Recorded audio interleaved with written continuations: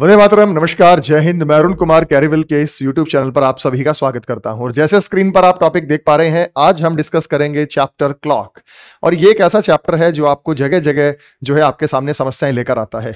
और मेरा पूरा विश्वास है कि जब आप इस पूरी वीडियो को देख लेंगे तो आपको इस चैप्टर में कोई भी समस्या नहीं रहने वाली है। अगर आप लोगों को समय देखना आता है तो ये पूरा चैप्टर आपको आता है। और आप कहेंगे, सर, समय तो हर एक को आता है। इवन कोई छठी या सातवीं क्लास का बच्चा भी समय देख सकता है। तो वो अगर इस वीडियो को देखेगा तो हम इतने बेसिक से समझाएँगे कि उसको भी ये वीडियो समझ में आ जाएगा। तो हम शुरुआत करते हैं क्लॉक और क्लॉक यानी घड़ी। आप जानते हैं कि घड़ी में सुइयाँ होती हैं, घंटे की सुई मिनट की सुई और सेकंड की सुई और इनके बीच में कोई ना कोई संबंध है, यानी इनके बीच में कोई ना कोई स्पीड भी निर्धारित की गई है। ये किसी न किसी समय पर कोई एंगल भी बनाती हैं और इनकी एक निश्चित रफ्तार भी है। आइए इसको बिल्कुल बेसिक से सीखते हैं और समझते हैं। तो हम शुरुआत करते हैं। तो सामने जो है स्क्रीन पे आप एक घड़ी देख पा रहे हैं जिसमें अभी सुइयाँ नहीं है। और इस घड़ी में आप जानते हैं कि 12 से लेकर, एक से लेकर 12 तक के बिंदु होते हैं। अब आप भली भांति इस बात से परिचित हैं कि अगर मैं एक एंगल बनाता हूँ, जैसे मैंने घड़ी में बनाया तीन बजे तो तीन बजे का समय जो है वो नब्बे डिग्री के एंगल को प्रदर्शित करता है। आप सारे के सारे बड़े अच्छे से देख पाएँगे, आप कहेंगे, सर, ये जो कोण है, ये नब्बे डिग्री का कोण है। अगर आप इस बात से सहमत हैं कि ये कोण नब्बे डिग्री का है तो आप इस बात से भी सहमत होंगे कि जब ये तीन वैल्यू नब्बे के बराबर है तो एक वैल्यू कितने के बराबर होगी? तो आप कहेंगे, सर, एक वैल्यू तीस के बराबर होगी, दो वैल्यू तीस और तीस साठ के बराबर होगी, और तीन वैल्यू तीस और तीस नब्बे के बराबर होगी। इससे आप सभी को एक बात जड़ से क्लियर हो गई, वो ये कि घड़ी में ये जो बंटवारा किया गया है, एक, फिर दो, फिर तीन, फिर चार, पाँच और एक से लेकर बारह तक के बिंदु जो मार्क किए गए हैं, इनके बीच में तीस तीस डिग्री का फासला होता है। कैसे होता है, आप सामने स्क्रीन पे देख पा रहे होंगे। कोई नई बात तो नहीं है, इतना आप जानते भी होंगे। अगर मैं कहूँ कि घड़ी में एक बजे कितने डिग्री का एंगल बनता है तो एक बजे का टाइम आपको दिखाई दे रहा है तो आप कहेंगे, सर, तीस डिग्री का एंगल बनता है। दो बजे साठ डिग्री का, तीन बजे नब्बे डिग्री का चार बजे 120 डिग्री का, पाँच बजे 150 डिग्री का, छह बजे 180 डिग्री का। समझ गए बात? ठीक है, बंटवारा 30-30 डिग्री का होता है। इस बंटवारे से आप वाकिफ हैं तो अब अगर मैं बात करता हूँ सुइयों की तो सबसे पहली जो सुई हम यहाँ पे बात करेंगे, वो है मिनट की सुई। Minute hand. हैंड मतलब सुई। काटा भी कहते हैं और सुई भी कहते हैं। मिनट की जो सुई होती है, वो एक मिनट में। एक मिनट में छह डिग्री चलती है या छह डिग्री का एंगल बनाती है। One minute is equal to six degree ये मिनट की सुई का संबंध है। मिनट की सुई का एक मिनट छह डिग्री कैसे होता है, इस बात पर अगर आप गौर फरमाएँगे तो आपको ये एकदम क्लियर हो जाएगी बात। जैसे मान लीजिए घड़ी में बारह बजे है। अगर घड़ी में बारह बजे हैं तो मिनट वाली सुई कहाँ होगी बच्चे? बारह पर होगी। और घंटे वाली सुई कहाँ होगी? तो मिनट वाली सुई आप कहेंगे, सर मिनट वाली सुई तो बारह पर होगी। लेकिन जो घंटे वाली सुई की अगर मैं बात करता हूँ, अगर मैं घंटे वाली सुई की बात करता हूँ तो वो कहाँ पर होगी भाई? वो भी बारह पर होगी। आप कहेंगे, सर, घड़ी में बारह बजे का टाइम है। ये बोलो हाँ या ना? घड़ी में बारह बजे का टाइम है या नहीं है ये वाला टाइम दोनों सुइयाँ बारह पर हैं तो इसे हम कहेंगे बारह बजे का टाइम मैं आपसे एक सवाल पूछता हूँ। मुझे बताइए, मिनट की सुई अभी जो बारह पर है, वो बारह से वापस बारह कितनी देर में आएगी? बारह से वापस बारह कितनी देर में आएगी? मिनट की अभी जो सुई, बड़े वाली सुई 12 है, ये 12 से वापस 12 कितनी देर में आएगी? तो आप कहेंगे, सर, इसे 12 से वापस 12 आने के लिए एक घंटा लगेगा। एक घंटे में जो मिनट होती हैं, वो 60 मिनट होती हैं और पूरा चक्कर लगाने का मतलब ये 360 डिग्री घूम जाएगी। क्या आप मेरी बात से सहमत है? भाई, मिनट की सुई अगर 12 से वापस 12 आती है तो वो 360 डिग्री घूम जाती है और 360 डिग्री, यानी पूरा गोल चक्कर जो होता है वो 360 डिग्री का। आप इस बात को कैसे प्रूव कर सकते हैं? भाई, अभी हमने देखा था कि एक गैप 30 डिग्री का होता है तो 12 गैप 360 डिग्री के होंगे। और वैसे भी आप जानते हैं कि पूरा सर्कल घूमने का मतलब 360 है। अगर मेरा चेहरा सामने है और मैं पूरा सर्कल घूमता हूँ ninety plus ninety plus ninety plus ninety और मैं तीन सौ साठ डिग्री घूमकर उसी दिशा में मेरा चेहरा है। तो मिनट की सुई एक घंटे में पूरा चक्कर लगाएगी 60 मिनट में 360 डिग्री। अगर 60 मिनट में 360 डिग्री का एंगल बनाती है तो एक मिनट में बनाएगी 360 बटे साठ। छह कम छह छह छिक छत्तीस, छह डिग्री, जो कि हम पहले भी प्रूव कर चुके हैं। उम्मीद करता हूँ कि ये बात सबको क्लियर हो गई होगी। तो मिनट की सुई, एक मिनट में कितने डिग्री का कोण बनाती है? छह डिग्री का कोण बनाती है। यह बात आप याद रखिएगा। पूरे चैप्टर को हम इतने बेसिक से करेंगे कि आपको कोई फॉर्मूला वगैरह याद करने की ज़रूरत नहीं है। कुछ बेसिक ट्रिक्स मैं आपको बताऊँगा। अगर वो बेसिक ट्रिक्स भी आपने देख ली, चीज़ों को समझ लिया तो आपका पूरा चैप्टर हो गया। मिनट की सुई का क्लेस हो गया, क्लियर। अब हम बात करते हैं आवर एंड। आवर एंड होता है घंटे की सुई। घंटे की सुई का काटा। आवर एंड घंटे की सुई। घंटे की सुई है छोटी वाली सुई, आप सारे जानते हैं। ये जो सुई है, ये एक मिनट में चलती है वन बाई टू डिग्री, आधा डिग्री। अब आप कहेंगे, सर, आधा डिग्री कैसे चलती है? ये सुई एक मिनट में आधा डिग्री चलती है। वो छह चलती है तो ये आधा चलती है। इस बात को हम प्रूव करेंगे और ये बात हम कैसे प्रूव कर सकते हैं? मिनट की सुई तो चलती है एक मिनट में छह, घंटे की सुई चलती है एक मिनट में आधा। अभी घंटे की सुई बारह पर है और अगर वो बारह से वापस बारह जाएगी तो कितनी देर में जाएगी? घंटे की सुई बारह से वापस बारह जाएगी कितनी देर में जाएगी? तो घंटे की सुई बारह से वापस बारह जाने के लिए उसे बारह घंटे लगेंगे। भाई कैसे पता चला? पहले घंटे में वो एक पर जाएगी दूसरे घंटे में दो पर जाएगी तीसरे घंटे में तीन पर जाएगी, चौथे में चार, पाँच, छह, सात, आठ, और इस प्रकार उसे बारह घंटे लगेंगे। और बारह घंटे में वो पूरा चक्कर लगाएगी। पूरा चक्कर लगाने का मतलब 360 डिग्री। बारह घंटे में 360 डिग्री। आप सहमत होंगे इस बात से? अगर 12 घंटे में 360 डिग्री तो एक घंटे में 30 डिग्री। ये बात भी आगे काम आ जाएगी। भाई, एक घंटे में कहा मैंने? एक घंटे में कितने डिग्री? तो एक घंटे में 360 बटे बारह बारह एकम बारह बारह तीय छत्तीस तो एक घंटे में आया ये तीस डिग्री आया। एक घंटे में आया तीस डिग्री। लेकिन अब एक तरीका और है। एक घंटे में मिनट कितनी होती हैं? साठ मिनट। कि अगर ये साठ मिनट में तीस डिग्री चलती है तो एक मिनट में चलेगी तीस बटे साठ, तीन एकम तीन तीन दूनी छह, वन बाई टू डिग्री। लेकिन अभी मेरा जी नहीं भरा मैं कुछ और भी चीज़ें जो है वो आपको बताना चाहता हूँ, वो तो आधा आ गया। अभी मैं एक बात और आपके साथ चर्चा करना चाहता हूँ, और वो बात क्या है? इसी चीज़ को मैं ऐसे लिख सकता था कि अगर ये 12 घंटे में 360 डिग्री चलता है तो 12 घंटे में मैं लिख सकता हूँ 12 गुना साठ, सात सौ बीस मिनट।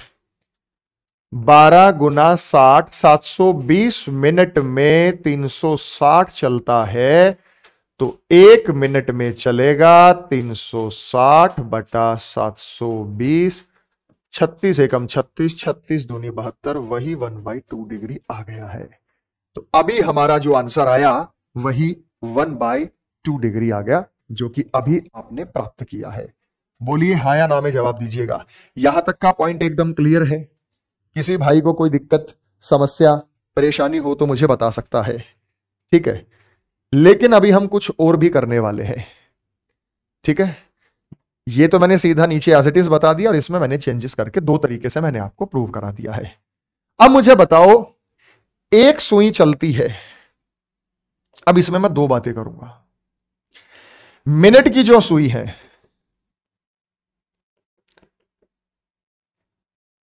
वो एक मिनट में छह डिग्री चलती है।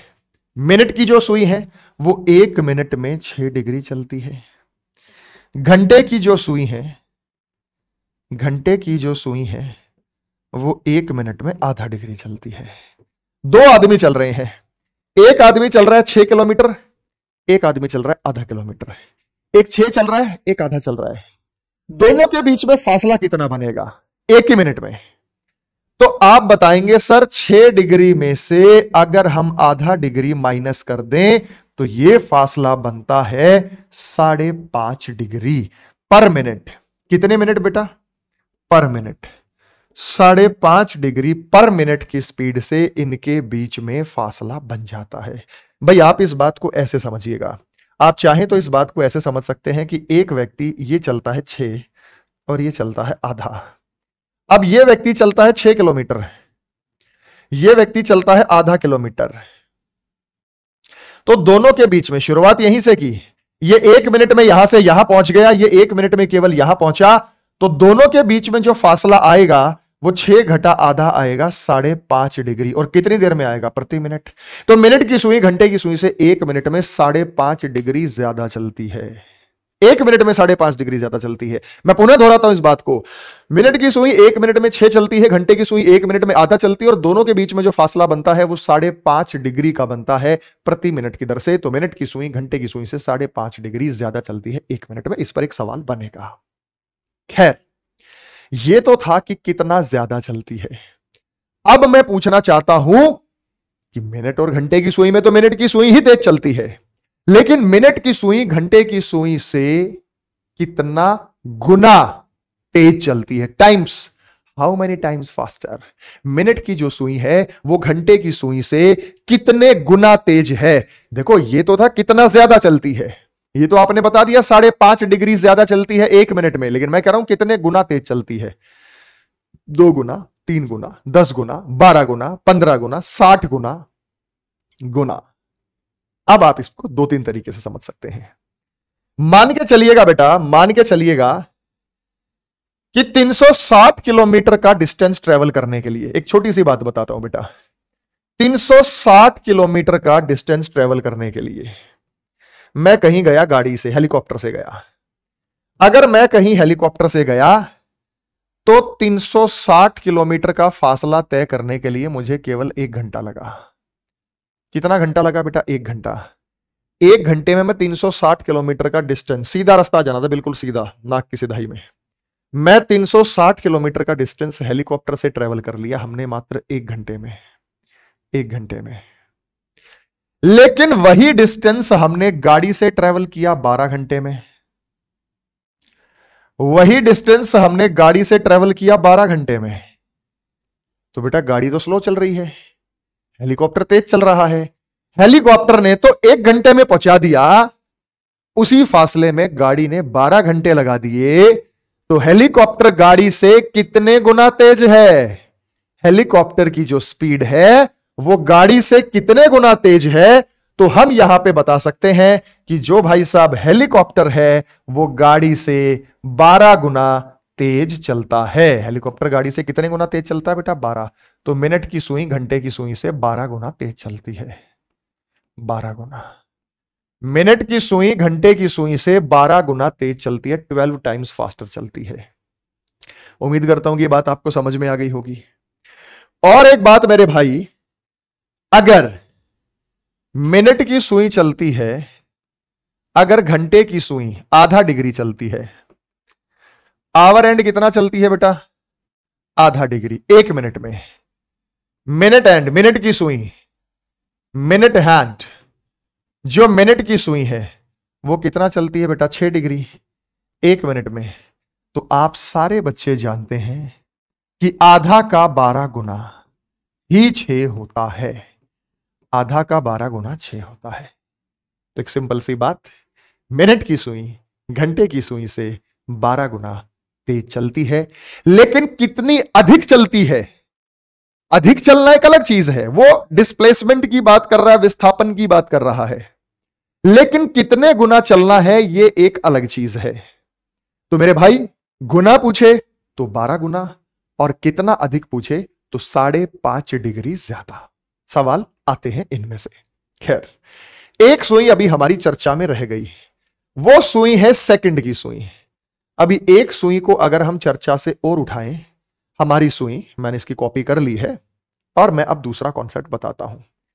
अगर हम इनकी चर्चा करें तो हमारे पास एक सुई अभी और शेष है, और उस सुई की अगर मैं बात करूँगा, अगर उस सुई की मैं बात करूँगा तो वो सेकंड की सुई होगी और सेकंड की सुई को भी अभी चर्चा में लाने का उचित समय आ गया है।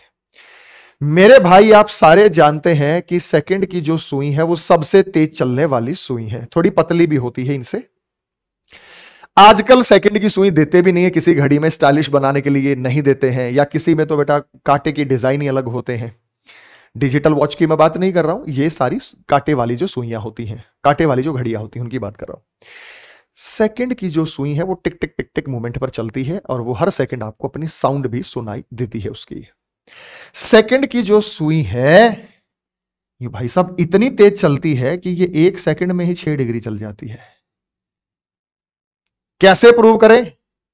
सेकंड की सुई एक सेकंड में ही छह डिग्री चल जाती है। इस बात को हम कैसे प्रूव कर सकते हैं? जरा चर्चा करते हैं।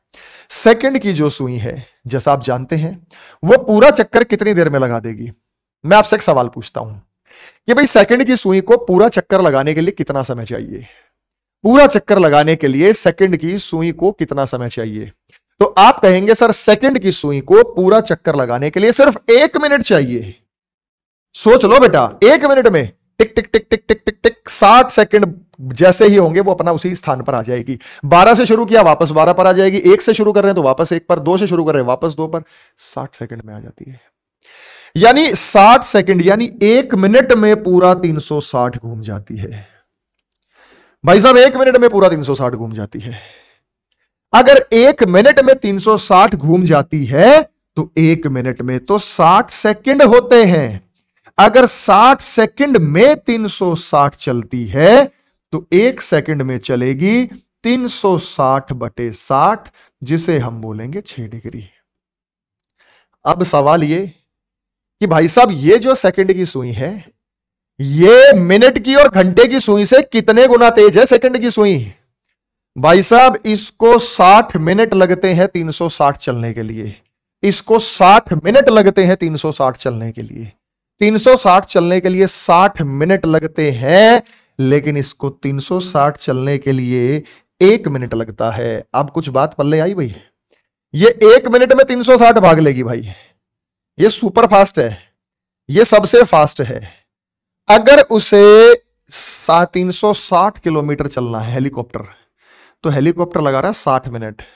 वहीं एक सुपरसोनिक जेट है। वो 360 एक मिनट में, या रॉकेट है, एक मिनट में लगा दे रहा है। तो रॉकेट तो सबसे तेज होगा। तो कितने गुना तेज हुआ? इसको 60 मिनट लगते हैं 360 चलने के लिए। इसको एक मिनट लगता है 360 चलने के लिए। तो दोनों की स्पीड में जो फासला हुआ, वो कितने गुना का हुआ? वो साठ गुना का। तो अगर कोई पूछे कि सेकंड की सुई, मिनट की सुई से कितने गुना तेज है तो साठ गुना तेज है या मिनट की सुई, सेकंड की सुई से साठ गुना स्लो है, वाइसा वर्षा रिलेशन है। लेकिन ये जो सेकंड की खुराफाती सुई है, जो सबसे तेज चलती है, ये घंटे की सुई से कितने गुना तेज है? घंटे की सुई से कितने गुना तेज है? भाई साहब, एक बात बताओ, इसको 360 चलने के लिए 720 मिनट चाहिए। इसको 360 चलने के लिए 720 मिनट चाहिए, इसको 360 चलने के लिए एक मिनट चाहिए। ये एक मिनट में 360 भाग लेगी। ये 360 के लिए इसको 720 है तो डिग्री में किलोमीटर वैसे बोल रहा हूँ रिप्रेजेंट करने के लिए। तो दोनों के बीच में फासला एक मिनट में 360, 720 मिनट में 360, 360 किलोमीटर का डिस्टेंस करने के लिए एक मिनट और 720 मिनट इसको ज़्यादा समय लग रहा है तो 720 गुना ज़्यादा स्लो है ये 720 गुना ज़्यादा तेज है। बात समझ में आ गई? तो जो सेकंड की सुई है वो मिनट की सुई से 60 गुना तेज चलती है यही सेकंड की सुई घंटे की सुई से 720 गुना तेज चलती है। क्योंकि साठ गुना बारह, सात सौ बीस। वो रिलेशन जो मैंने पहले बताया था। ठीक है। क्लियर हो गया तीनों सुइयों का कॉन्सेप्ट अगर ये तीनों सुइयों का कॉन्सेप्ट आपको क्लियर हो गया तो एक बात आप सारे भली भांति जानते हैं। और वो भली भांति जो बात जानते हैं, वो क्या होता है भाई? वो यही होता है, वो यही होता है मेरे बच्चे, कि सेकंड की सुई।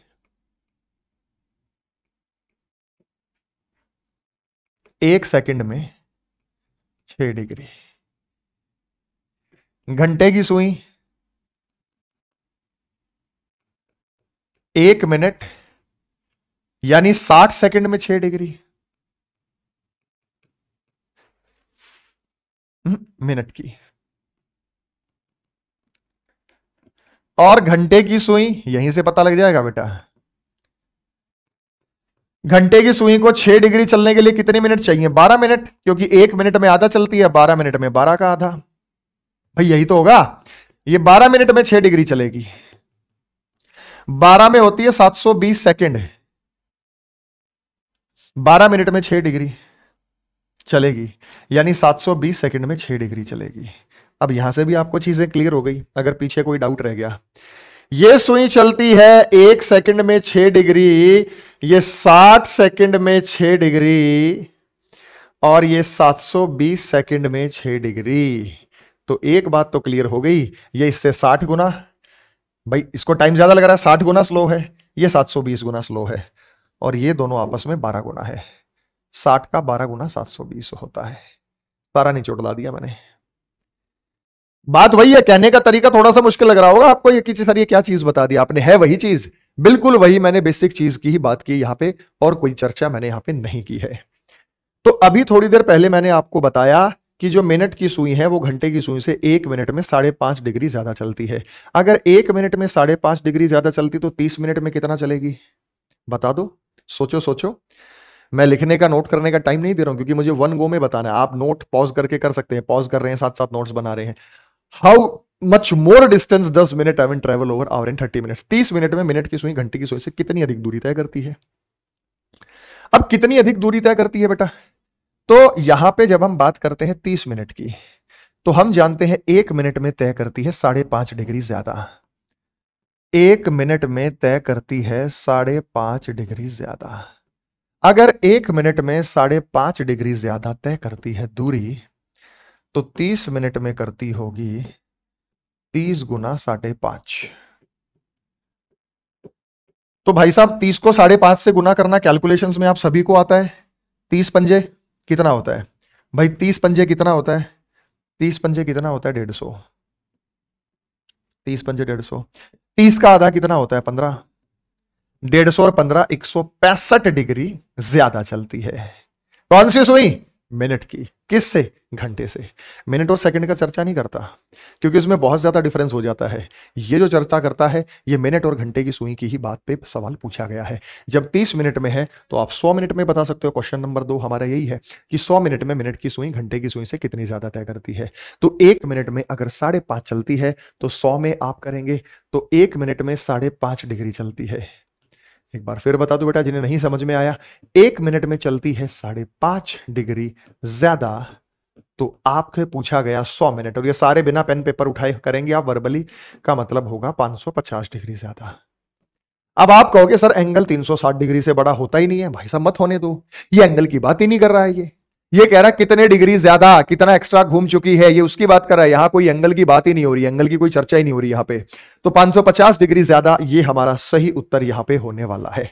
इसी प्रकार से ये सवाल आ गया एंगुलर डिस्टेंस नेक्स्ट नंबर तीन हम बात करेंगे एंगुलर डिस्टेंस एंगुलर डिस्टेंस क्या होता है, कोणीय दूरी क्या होता है? तो हम यहाँ पे चर्चा करेंगे कि एंगुलर डिस्टेंस कोणीय दूरी से हमारा तात्पर्य क्या है। मेरे बच्चे, एक बात को समझ जाओ। एक मिनट का मतलब छह डिग्री। कौन सी सुई? मिनट की सुई। यही एंगुलर डिस्टेंस है। और 10 मिनट का मतलब 60 डिग्री। यही एंगुलर डिस्टेंस है। इसी को एंगुलर डिस्टेंस कहते हैं।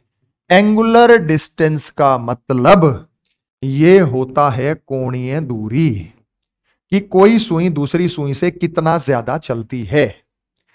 तो ज़्यादा नहीं सॉरी डिग्री कन्वर्जन जब हम यहाँ पे बात करेंगे तो डिग्री कन्वर्जन की बात करेंगे। डिग्री कन्वर्जन मतलब हमने समय का डिग्री में कन्वर्जन कोणीय दूरी कहलाता है। हमारे पास कोई समय होगा। उस समय को अगर हम डिग्री में बदल दें तो उसी को कोणीय दूरी की संज्ञा दी जाती है।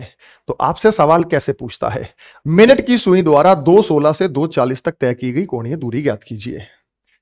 तो भाई दो सोलह और दो चालीस के बीच में जो समय होता है, वो चौबीस मिनट का होता है। कितना फासला हुआ इनके बीच में? चौबीस मिनट का। कैसे हुआ भाई? सोलह में चौबीस जोड़ो चालीस हो जाएगा।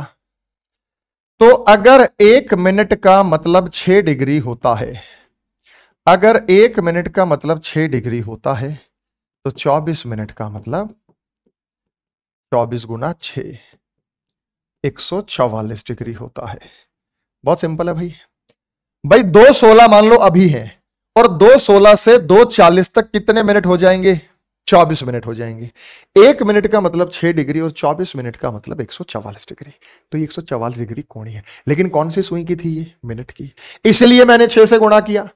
अगर यह घंटे की सुई का प्रश्न होता तो हम इसका आधा करते, चौबीस का आधा बारह डिग्री तब बारह आता ये। चौबीस का आधा क्या करते? बारह। अगर घंटे की सुई का पूछता तो चौबीस का आधा हम करते हो बारह होता और बारह डिग्री तब घंटे की सुई के केस में होता। तो मिनट में कोई इश्यू नहीं है।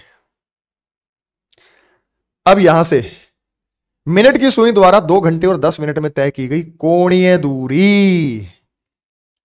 ठीक है एंगुलर डिस्टेंस ही पूछा, कोणीय दूरी। कौन सी सुई द्वारा? मिनट की सुई द्वारा। कितने समय में? दो घंटे, दस मिनट में तय की गई कौन सी सुई? कौन सी दूरी बेटा? कोणीय दूरी। लेकिन इस सवाल को मैं एक तरीके से और भी पूछूँगा, वो आगे चलेगा। अभी तो मैं कोणीय दूरी की ही बात कर रहा हूँ। मेरे भाई, आप स्क्रीन पर ध्यान दीजिएगा कि भाई दो घंटे, दस मिनट का मतलब क्या हो गया? दो घंटे में कितनी मिनट हो गई? 120 मिनट। भाई दो, एक घंटे में 60 दो घंटे में 120 मिनट। Plus 10 minute. ये हो गई है 130 मिनट। और मिनट की सुई एक मिनट में छह चलती है। भाई एक मिनट में छह, एक मिनट में छह तो 130 में 130 गुना छह, सात डिग्री। तो 780 डिग्री हमारा सही होगा। दूसरा तरीका यह भी था बेटा, मिनट की सुई एक घंटे में पूरा चक्कर लगाती है। ऐसे भी कर सकते थे। दूसरा तरीका यह भी हो सकता था कि एक घंटे में पूरा चक्कर लगाती है 360 डिग्री। भाई एक मिनट में छह चलती है, साठ मिनट में तीन सौ साठ। फिर अगले घंटे में चलेगी तीन सौ साठ डिग्री। लेकिन फिर दस मिनट में कितना चलेगी? साठ डिग्री। एक मिनट में छह तो दस मिनट में साठ। तब भी हमारा सात सौ अस्सी डिग्री। लेकिन अगर यह सवाल कुछ ऐसा होता कि मिनट की सुई दो घंटे दस मिनट में अपनी पिछली पोजीशन के रिस्पेक्ट में कितने डिग्री ज़्यादा चल पाती है? या पिछली पोजीशन के रिस्पेक्ट में कितना अधिक मूव करती है? या पिछली पोजीशन के रिस्पेक्ट में स्थान परिवर्तन बताओ। दो घंटे दस मिनट में मिनट की सुई। देखो, मान लो मान लो मिनट की सुई बारह पर है। है ना? एक घंटे में कहा गई? बारह। फिर दूसरे घंटे में कहा गई? बारह। कोई चेंज नहीं हुआ। और दस मिनट में यहाँ पहुँच गई। तो साठ डिग्री का ही तो चेंज हुआ। उसकी पोजीशन में कितना चेंज हुआ? साठ डिग्री का। किसी भी पॉइंट से देख लो बेटा। जैसे मान लो मिनट की सुई तीन पर है। एक घंटे में वापस तीन पर आएगी। ये पूरा एक घंटा हो गया। अगले घंटे में वापस तीन पर आएगी। एक और घंटा हो गया। और फिर तीन से पहुँच गए पाँच। दस मिनट में ये बढ़ गई आगे। दस मिनट में ये हो गया ना, यहाँ से यहाँ कितना हो गया? दस मिनट। तो यहाँ से यहाँ एक मिनट छह डिग्री, दस मिनट साठ डिग्री तो साठ डिग्री है, तीस प्लस तीस। तो साठ आंसर कब देना था? ऑप्शन में साठ भी दिख रहा है। साठ तब देना था जब ये कहा जाता कि मिनट की सुई अपनी पिछली पोजीशन की रिस्पेक्ट में क्या उसने बदलाव किया? विस्थापन डिस्प्लेसमेंट जो फिजिक्स में आप पढ़ते हैं, वो ज्ञात करना हो तो 60 एंगुलर डिस्टेंस 780 डिग्री ही होगा। मेरे भाई अब घंटे की सुई का angular distance find the angular distance covered by hour hand from 928 to 220 नौ अट्ठाईस बजे से सुबह नौ अट्ठाईस से दोपहर दो बीस बजे तक घंटे की सुई द्वारा तय की गई कोणीय दूरी ज्ञात कीजिए। सुबह नौ अट्ठाईस की और दो। सबसे पहले आपको टाइम इंटरवल निकालना आना चाहिए। टाइम इंटरवल होता है मेरे बच्चे समय का अंतराल ज्ञात करना। जब समय का अंतराल आप ज्ञात करते हैं तो टाइम इंटरवल आ जाता है बेटा। कि भाई इनके बीच में कितने समय का अंतराल है? तो समय का अंतराल आपको ज्ञात करना अगर आ जाए तो ये आपके लिए बड़ा आसान होता है। ठीक है? लेकिन मुझे ये बताओ बेटा 9:28 एम से 2:22 पीएम तक कितने घंटे, कितने मिनट होते हैं? पीएम होता है दोपहर बाद। एएम कैसे? आज रात 12 बजे से जो समय शुरू हुआ, वो एएम चल रहा है। दोपहर 12 बजे तक वो एएम ही रहेगा। दोपहर 12 बजे के बाद वो पीएम बन जाएगा। और रात 12 बजे तक वो पीएम रहेगा। ठीक है? जैसे शाम को चार बजे तो फोर पीएम बोलते हैं या रेलवे के अनुसार सोलह सोलह बज गए। सत्रह बज गए तो फाइव पीएम बोलते हैं। सत्रह पे पीएम लगाने की ज़रूरत नहीं है। बारह के बाद तेरह, चौदह, पंद्रह, वो सारे पीएम की ही प्रदर्शित करते हैं। पूर्वाहन और अपराहन। सबसे पहले मुझे बताओ कि यहाँ से यहाँ का जो फासला हुआ, वो कितने घंटे और कितने मिनट का हुआ? इनके बीच में जो फासला है, वो कितने घंटे और कितने मिनट का है? कुछ लोग इसे पाँच घंटे कुछ मिनट बताते हैं, चार घंटे कुछ मिनट बताते हैं। मेन मुख्य बिंदु यही है कि ये जो फासला है, ये कितने घंटे और कितने मिनट का है जो आप देख पा रहे हैं। मेरे भाई, आप इसको ऐसे समझें तो ये बड़ा आसान है। अगर मैं सुबह नौ अट्ठाईस से दोपहर दस अट्ठाईस, ग्यारह अट्ठाईस, बारह अट्ठाईस, एक अट्ठाईस दो अट्ठाईस दो अट्ठाईस तक पूरे पाँच घंटे बैठते हैं। सुबह नौ अट्ठाईस से दोपहर दो अट्ठाईस तक पूरे पाँच घंटे बैठते हैं। लेकिन अपन को दो अट्ठाईस नहीं लेना, दो बीस लेना है। आठ मिनट कम करनी है। और अगर हमें दो बीस पीएम ही लेना हो, अगर हमें दो बीस पीएम ही लेना हो तो हम आठ मिनट कम करेंगे, नहीं करेंगे। आठ मिनट हमें कम करनी पड़ेगी। अगर पाँच घंटे में आठ मिनट कम करनी पड़ जाए, अगर हमें पाँच घंटे में आठ मिनट कम करनी पड़ जाए तो हमारा जो सही उत्तर आएगा, वो क्या आएगा? चार घंटे बावन मिनट।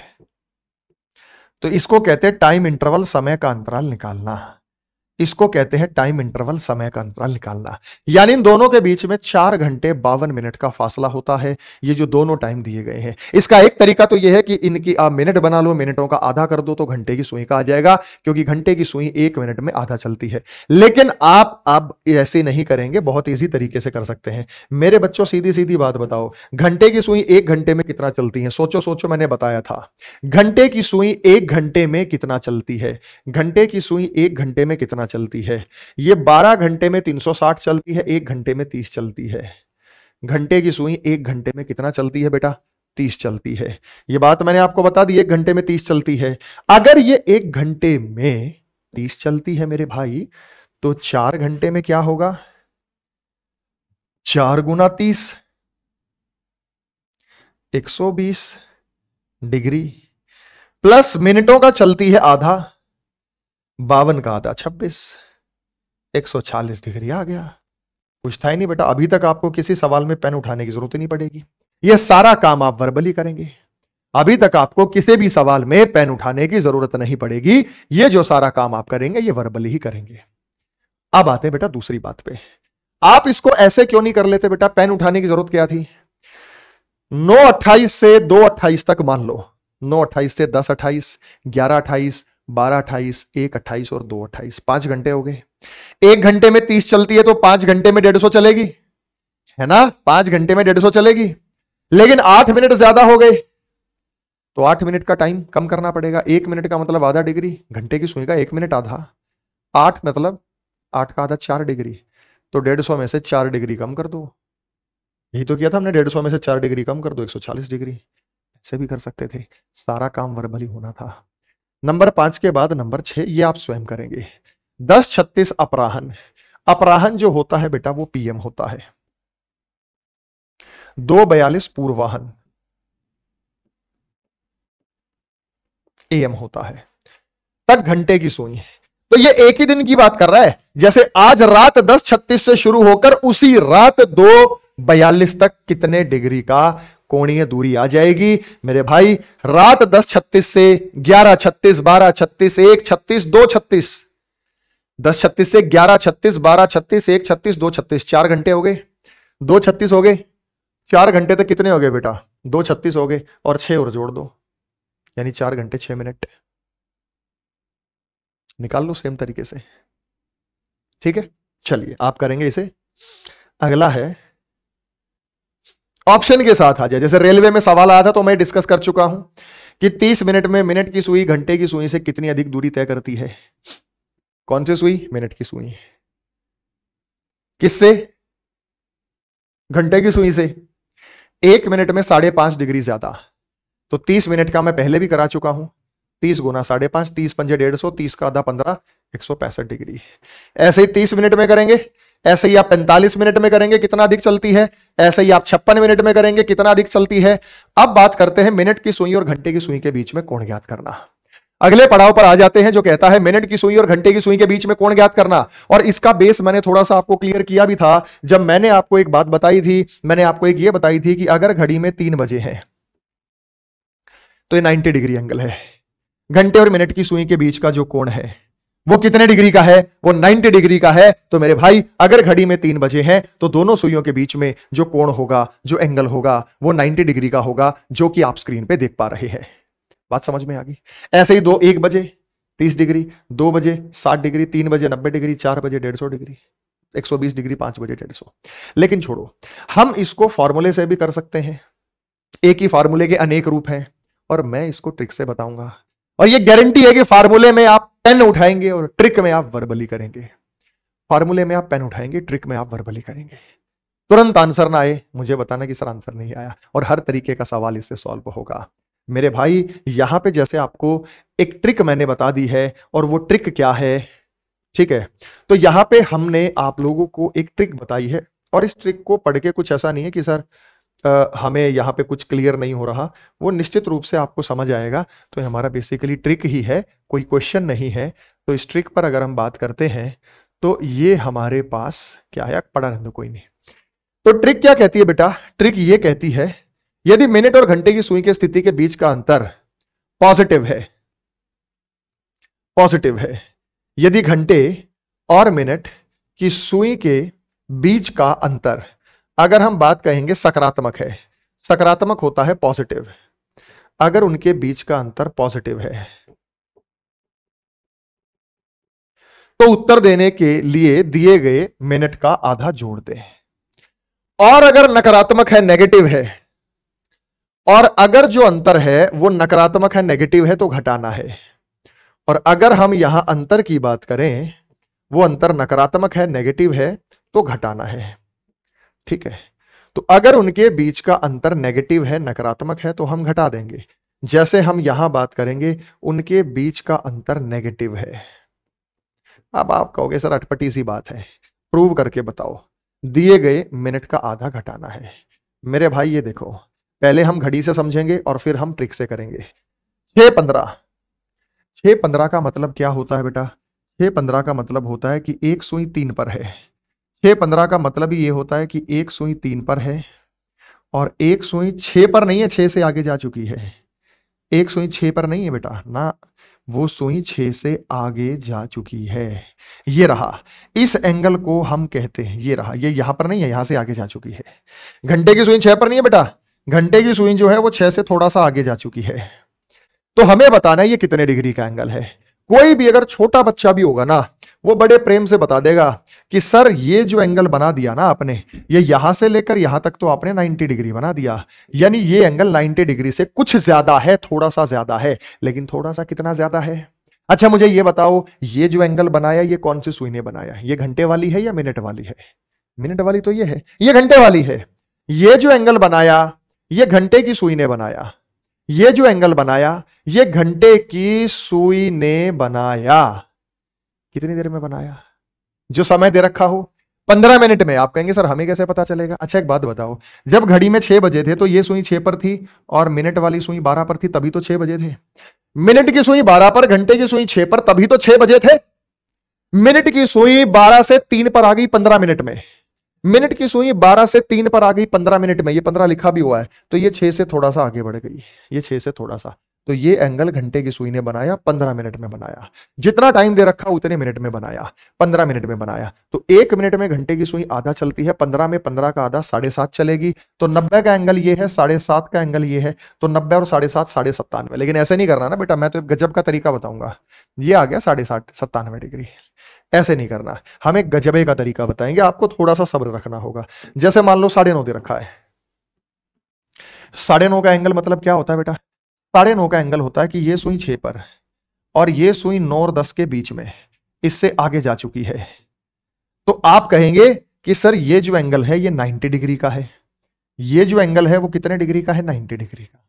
लेकिन अगर ये वाला एंगल जोड़ दें तो हमारा पूरा आंसर आ जाएगा। ये वाला जो एंगल बनाया, ये घंटे की सुई ने बनाया, कितनी देर में बनाया? तीस मिनट में बनाया। तो तीस का आधा पंद्रह होगा। तो नब्बे जमा पंद्रह, एक सौ पाँच डिग्री। लेकिन ऐसे नहीं करना ना। क्या ट्रिक होनी चाहिए? इसके लिए आपको साढ़े तीन वाले का उत्तर दो। सोचो सोचो बेटा। साढ़े तीन बजे। वीडियो को पॉज करो, रोक दो, और साढ़े तीन बजे कितने डिग्री का एंगल है सोचो। ईमानदारी से वीडियो पॉज कर दो। साढ़े तीन बजे कितने डिग्री का एंगल है, कोई बताएगा?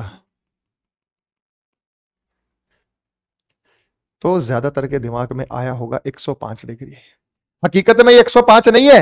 ये एंगल 90 डिग्री से भी बड़ा नहीं है। भाई, ये सुई तीन पर हो, ये सुई छह पर हो, तब भी 90 डिग्री है ये।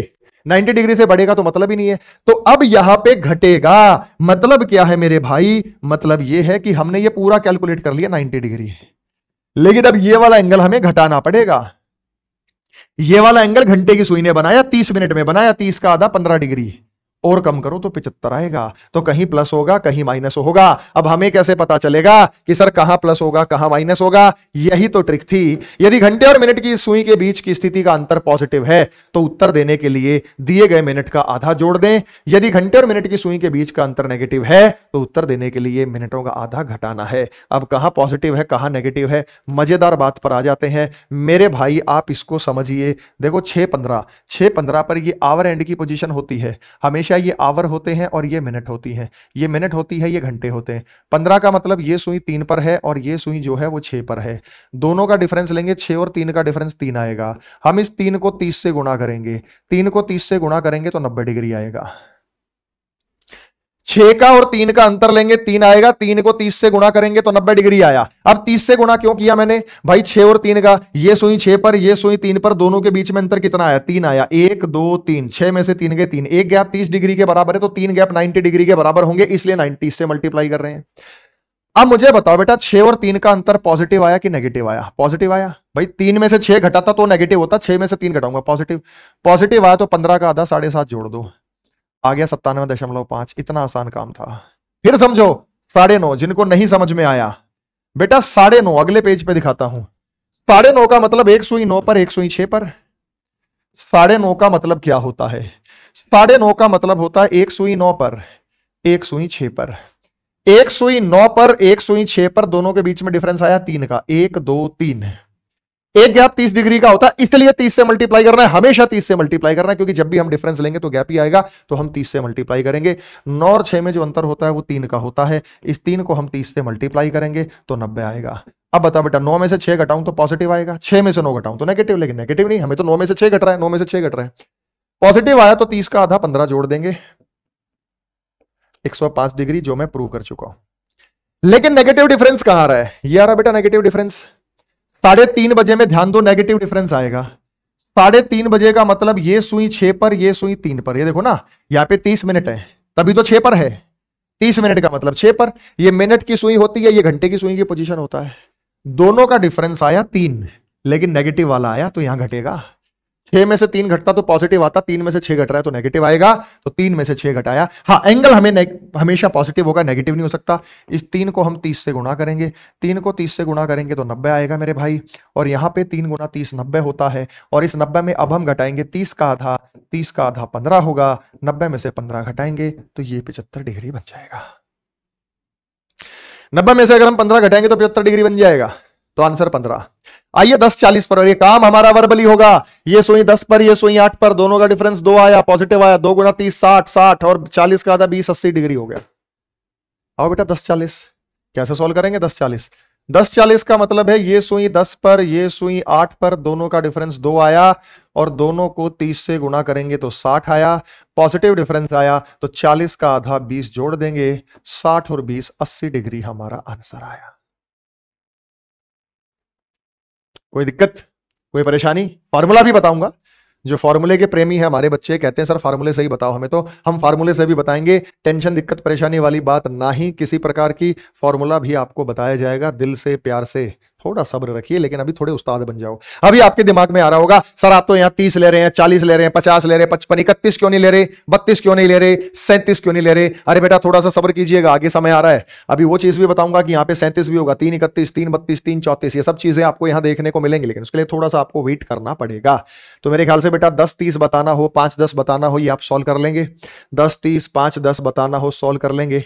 हाँ अगर हमें यहाँ चार तीस, आठ बीस बताना यह भी फटाफट से सॉल्व हो जाएगा। इसमें भी कोई समस्या नहीं है। आठ, बीस का मतलब होता है कि यह सुई आठ पर। ये सुई चार पर। हमें कैसे पता चलेगा चार पर? ये देखो ना बेटा, बीस मिनट का मतलब। यहाँ पाँच मिनट होते हैं, यहाँ दस मिनट होते हैं, यहाँ पंद्रह मिनट होते हैं, यहाँ बीस मिनट होते हैं पच्चीस मिनट होते हैं तीस मिनट होते हैं पैंतीस मिनट, यहाँ चालीस मिनट, यहाँ पैंतालीस। नहीं पता चल रहा तो बेटा पाँच से डिवाइड करके देख लो, पाँच चौक बीस तो ये चार पर है। और ये जितना दे रखा उतने पर लो। आठ और चार में अंतर चार का होता है। चार को तीस से गुणा करो, एक सौ बीस आएगा। एक सौ बीस में पॉजिटिव डिफरेंस आया तो बीस का आधा जोड़ दो, दस डिग्री तो एक सौ तीस आ जाएगा। इसी प्रकार से आप चार तीस को सॉल्व करेंगे। चार तीस को सॉल्व करने पर डिफरेंस जो आएगा, वो नेगेटिव आ रहा है पॉजिटिव आ रहा है देखो ये सुई चार पर ये सुई हम लेंगे छह पर। दोनों का डिफरेंस आया दो नेगेटिव वाला आया। दो को तीस से गुणा करेंगे, दो तीस जा साठ हो गया। भाई ये चार पर, ये पाँच छह तीस, छह पर, दोनों का डिफरेंस आया दो। दो को तीस से गुणा करेंगे, हमारे पास साठ आएगा। अब हम यहाँ पे घटाएँगे तीस का आधा पंद्रह। पैंतालीस डिग्री बेटा। आ गया समझ में सभी को? हमारे एक किसी भाई को कोई दिक्कत, परेशानी एकदम परफेक्ट तरीके से, बढ़िया तरीके से समझ आ रहा है, एक एकदम क्रिस्टल क्लियर समझ आ रहा है। तो मेरे भाई, आगे सिंपल सिंपल चीज़ है जो आप खुद सॉल्व कर सकते हैं। लेकिन अगर हमें आपको कुछ ऐसा दिखाई दे, चार बीस आठ, पच्चीस तो आप कर लेंगे। आठ, पच्चीस का मतलब ये आठ पर और ये पाँच पर। हमें चिंता हुई चार बीस की।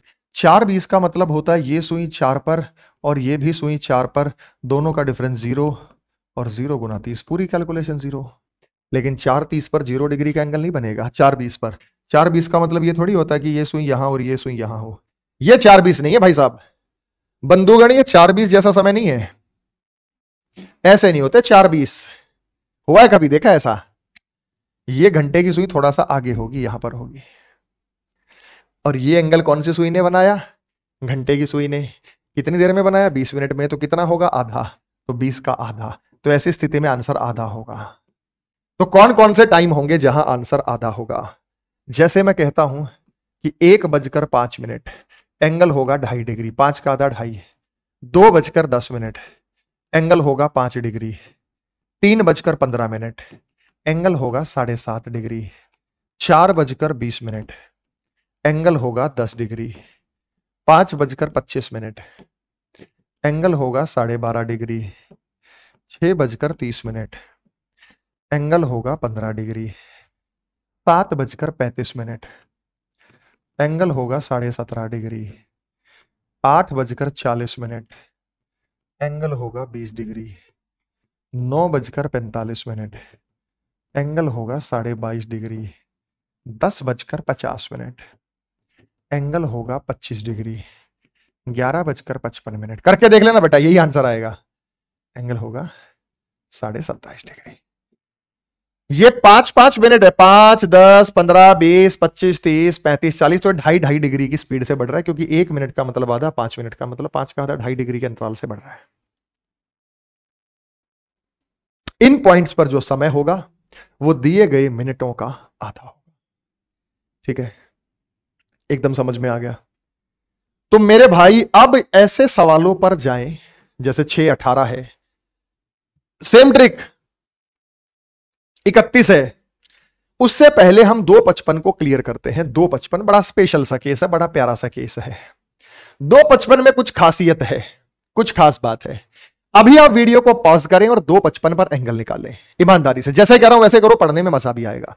अभी आप इस वीडियो को पॉज करें और दो पचपन पर रोक दें, उसे दो पचपन पर कोण निकालें। ठीक है मेरे भाई? तो कोशिश करो, क्या एंगल आया आपका? और हो सकता है वो आपका आंसर सही हो हो सकता है वो आपका आंसर गलत हो। चलिए, आपने सॉल्व कर लिया। दो पचपन का मतलब होता है कि ये सुई दो पर, ये सुई ग्यारह पर, दोनों का डिफरेंस नौ आया नेगेटिव वाला तो घटेगा। नौ गुना तीस होता है दो सौ सत्तर। नेगेटिव आया तो घटेगा, पचपन का आधा साढ़े सत्ताईस। तो ये आया two forty two point five घटा के देखो बेटा two forty two point five आएगा। Two forty two point five ठीक है। ठीक है। लेकिन यह आंसर सही भी हो सकता है, गलत भी हो सकता है। हो सकता है ऑप्शन में दे रखा हो, तब भी गलत हो। भाई, दो पचपन का मतलब क्या है? दो पचपन का मतलब यह है कि ये सुई ग्यारह पर पहुँचने वाली है और ये सुई तीन पर पहुँचने वाली है। हमने ये निकाला दो सौ बयालीस। और हमें हमेशा छोटा एंगल आंसर में देना जब तक बड़े की मांग ना करे। भाई एंगल तो दोनों ही तरफ़ है। अगर घड़ी में तीन बजे नब्बे डिग्री का एंगल है तो 270 कहने में भी कोई हर्ज परहेज नहीं होना चाहिए। लेकिन हम 90 ही बताते हैं क्योंकि हमेशा छोटे एंगल को ही प्राथमिकता दी जाती है। अगर कोई व्यक्ति भी सड़क पर चलता है तो वो सड़क पर चलने के लिए जब भी मोड़ मुड़ता है तो छोटे एंगल को प्राथमिकता देता है। जैसे मेरा और आपका चेहरा सामने है, हमें अपने राइट मुड़ना है, दाहिना मुड़ना है। अगर हमें राइट मुड़ना है तो हम नब्बे डिग्री मुड़ेंगे और हमारा काम चल जाएगा। कोई भी व्यक्ति ऐसी बेवकूफ़ी नहीं करता कि पहले नब्बे मुड़ेगा, फिर नब्बे मुड़ेगा, फिर नब्बे, यानी 270 मुड़ेगा, फिर आगे चलेगा। ऐसा कोई भी काम कोई व्यक्ति नहीं करता है। तो शॉर्ट को। तो अगर यहाँ पे आंसर में कुछ मेंशन ही ना हो। सीधा ये कहे कि दो पचपन पर बनने वाला कोण बताओ। तो दो पचपन पर बनने वाला कोण दो भी है, लेकिन अगर ये ऑप्शन में ना हो और दूसरे वाला एंगल भी ऑप्शन में हो तो फाइनल आंसर देने के लिए हम 360 में से दो घटाएँगे। दस में से पाँच गए पाँच, नौ में से दो गए सात, छह में से नौ में से दो गए सात, पाँच में से चार गया, एक तीन में से दो गए, एक सौ सत्रह दशमलव पाँच। तो अगर ऑप्शन में 117.5 भी है, अगर ऑप्शन में 242.5 भी है। ऑप्शन वाइज बता रहा हूँ कि ऑप्शन में ऐसी ऐसी चीज़ें हो सकती हैं। अगर ऑप्शन में 118.5 भी है, क्योंकि घटापट अगर आपका ऐसे ही दिक्कत गलतियाँ होती हैं, और यहाँ 243.5 भी है। ये भी आया होगा कहीं होगा, मुझे उम्मीद है। तो बेटा, अगर ये कहता है कि दो पचपन पर बनने वाला एंगल बताओ तो ये नहीं बताना, ये बताना है। ये ऑप्शन में ना हो तो ये बताना है। दोनों हो तो ऊपर वाला ही बताना छोटा। लेकिन दो बयालीस पर बनने वाला बड़ा कौन? वृहत कोण बड़ा। रिफ्लेक्सिव एंगल परावर्ती कोण जो 180 डिग्री से बड़ा है। अगर बड़े की बात करता है, अगर बड़ा पूछता है तो आंसर ये है। छोटा पूछता है तो ये है। बड़े छोटे की बात ही नहीं करता तो छोटे को आंसर में दो। छोटा ऑप्शन ना हो तो इसी को आंसर में दो। बात समझ में आ गई? जैसे मान लो, मैंने एक बात कही आपको कि तीन बजे परावर्तक कोण का पता लगाए? अब तीन बजे जो एंगल बनता है बेटा, वो 90 भी बनता है। तीन बजे 270 भी बनता है। तो परावर्तक को तो 270 ही चूज़ करेंगे, ये नहीं चूज़ करेंगे क्योंकि ये बड़ा एंगल रिफ्लेक्सिव एंगल बड़ा बड़ा ऐसा एंगल जो 180 डिग्री से बड़ा है तो बड़े वाले को ही चूज़ करना है। तो क्या आपको मेरी बात समझ में आ गई? अगर वो कहे कि बड़ा एंगल बताओ, अगर बड़े एंगल की मेरे भाई बात करेगा तो दो सौ सत्तर। छोटे की तो नब्बे, और ना छोटा बोले, ना बड़ा बोले, सिर्फ़ कौन बताओ, तीन बजे तो नब्बे को प्राथमिकता देनी नब्बे ऑप्शन में ना हो तो 270 को तब हम चूज़ कर सकते हैं। तो ये हमने निकाल लिया। अब हम आते हैं ऐसे पॉइंट्स पर, जो ये पॉइंट्स हमारे ये होते हैं। छह पंद्रह, छह सोलह, छह सत्रह, छह अठारह, छह उन्नीस और छह बीस। अभी तक किसी को मुझे नहीं लगता कोई रत्ती भर भी डाउट हुआ होगा। बिल्कुल बारीकी से, प्रेम से, बहुत अच्छे तरीके से हम आपको चीज़ों को समझा रहे हैं। हम यही प्रयत्न कर रहे हैं कि किसी भी बच्चे को कोई किसी प्रकार की समस्या ही ना हो और हम अपनी ट्रिक पर अड़िग हैं कि हमारी ट्रिक आज भी ज़िंदा है। आज भी ज़िंदा मतलब ये हर प्रकार के क्वेश्चन को सॉल्व करेगी। कोई क्वेश्चन ऐसा नहीं हो सकता जो ये कह दे कि ये क्वेश्चन इससे सॉल्व नहीं होगा। मेरे भाई, छह पंद्रह को आप सॉल्व कर सकते हैं और छह बीस को आप सॉल्व कर सकते हैं। आप छः पंद्रह को भी सॉल्व कर सकते हैं, आप छः बीस को भी सॉल्व कर सकते हैं। समस्या है बीच के एंगल निकालने की तो बीच के एंगल्स को कैसे निकाला जाए?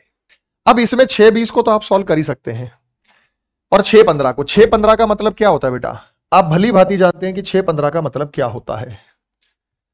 जब छह पंद्रह की मैं यहाँ पे बात करता हूँ तो छह पंद्रह का मतलब ये होता है कि ये सुई छह पर, ये सुई तीन पर, दोनों का डिफरेंस तीन आया और उस तीन को मैंने तीस से मल्टीप्लाई किया तो नब्बे आया।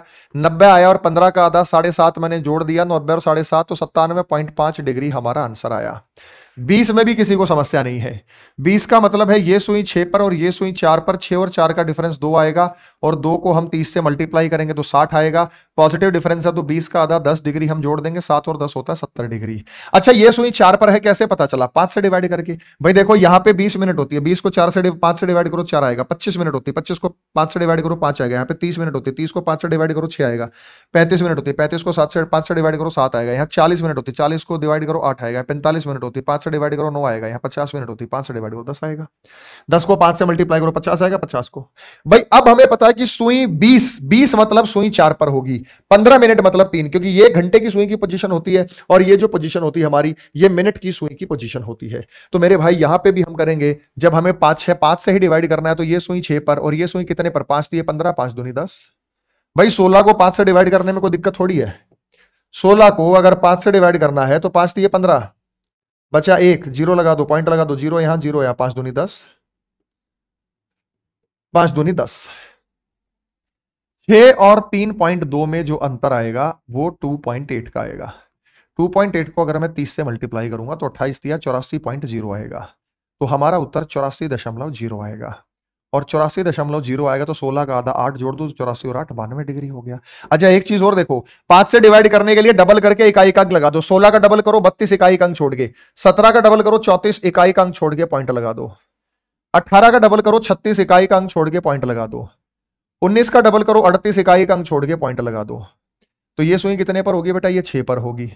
दोनों में जो डिफरेंस होगा वो टू पॉइंट सिक्स का आएगा। उसको हम तीस से मल्टीप्लाई करेंगे तो सेवेंटी एट पॉइंट ज़ीरो आएगा। सत्रह का आधा साढ़े आठ जोड़ देंगे। सत्रह का आधा साढ़े आठ जोड़ देंगे तो छियासी दशमलव पाँच आएगा।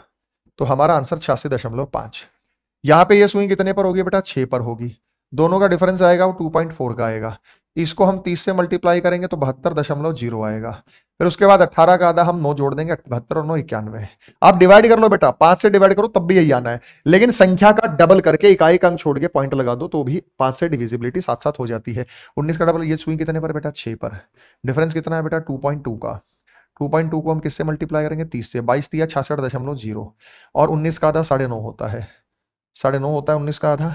छियासठ और नौ पचहत्तर दशमलव पाँच। अब मैंने कहा था कि घंटे की सुई चलती है छह मिनट की सुई चलती है छह डिग्री, घंटे की सुई चलती है आधा डिग्री। दोनों के बीच में जो फासला बनता है, साढ़े पाँच डिग्री का बनता है। तो आप देखिए, दोनों के बीच में जो फासला है वो साढ़े पाँच है। इसमें साढ़े पाँच जोड़ो, ये आ जाएगा। इसमें साढ़े पाँच जोड़ो, इक्यासी।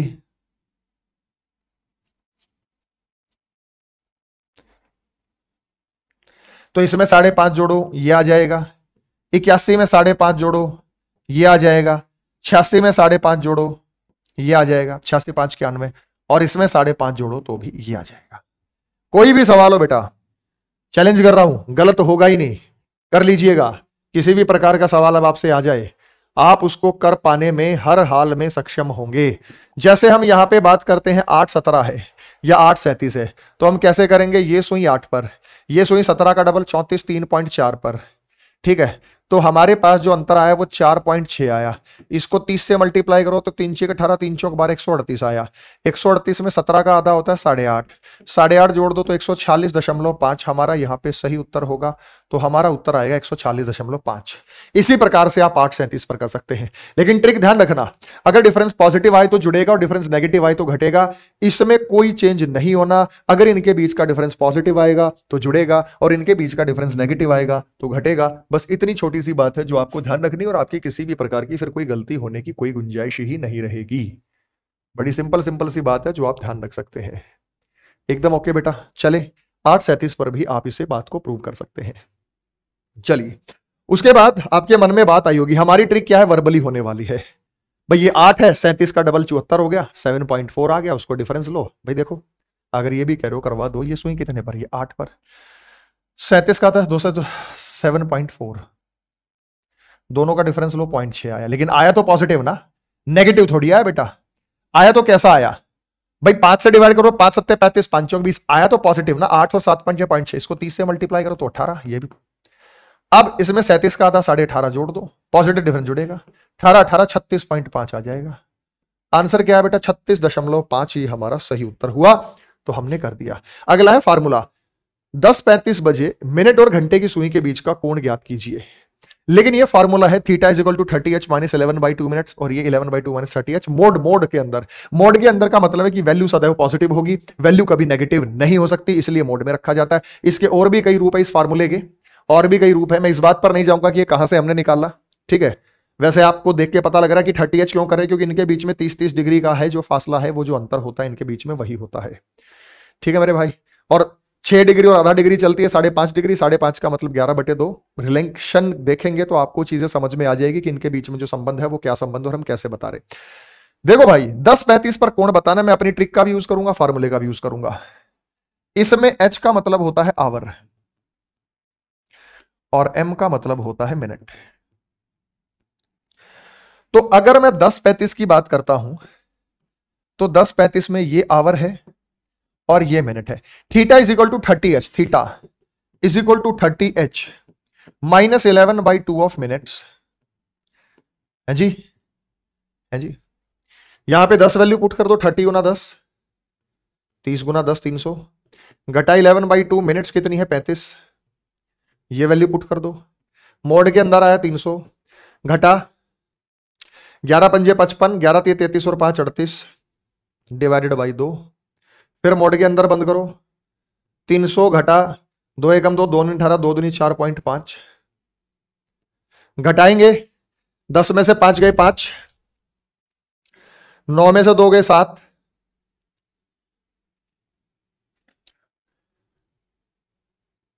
एक सौ सात दशमलव पाँच डिग्री। लेकिन हमारी ट्रिक क्या कहती है? हमारी ट्रिक तो उसे उखाड़ देगी दो मिनट, दो सेकंड में। कि भाई साहब, ये सुई दस पर है, ये सुई सात पर है, तीन तीन का मतलब तीस नब्बे होता है।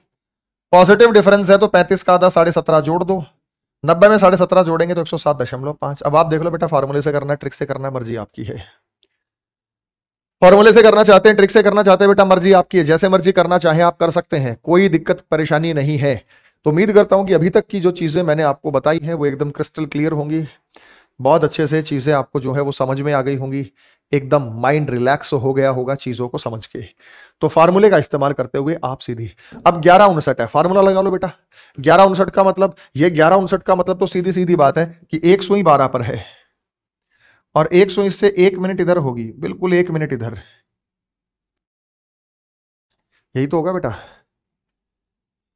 ग्यारह उनसठ का मतलब क्या है? मतलब इधर होंगी ये सुइयाँ। ग्यारह उनसठ, साठ। साठ।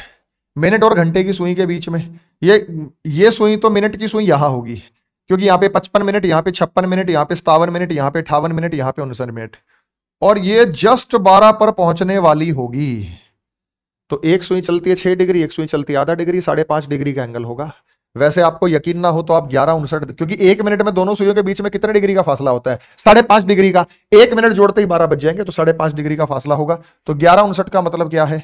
ग्यारह, उनसठ का मतलब सीधा सीधा ये होता है कि ये सुई ग्यारह पर होती है, और ये सुई होती है दो अठारह, दो पंजे दस और एक ग्यारह।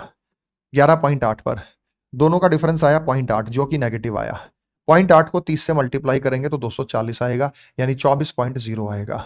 नेगेटिव आया तो घटेगा, उनसठ का आधा। उनसठ का आधा घटा दो। दो दूनी चार, दो दूनी चार, दो नीम अठारह। पॉइंट पाँच।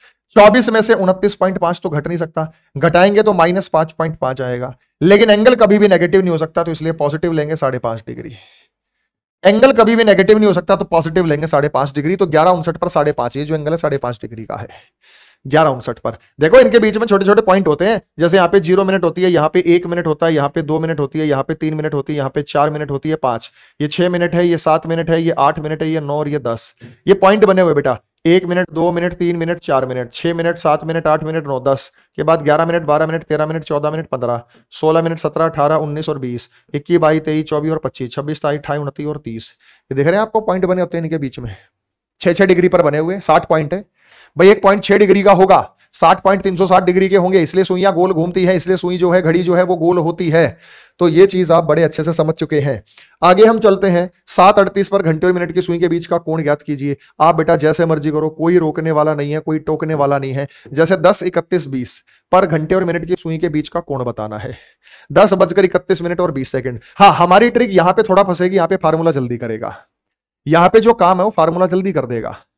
तो फॉर्मूला याद रखो केवल ऐसे सवाल के लिए। हालाँकि मैं ट्रिक से भी कराऊँगा, हालाँकि मैं फॉर्मूले से भी कराऊँगा। ये बेटा आवर होते हैं, ये बेटा मिनट होती है, ये बेटा सेकंड होते हैं। तो मैं इसको ऐसे लिख सकता हूँ, बेटा, दस बजकर इकतीस सही, बीस बटे साठ मिनट मैंने इसके मिनट बना लिए, नहीं बना लिए। हाया ना, में जवाब दो।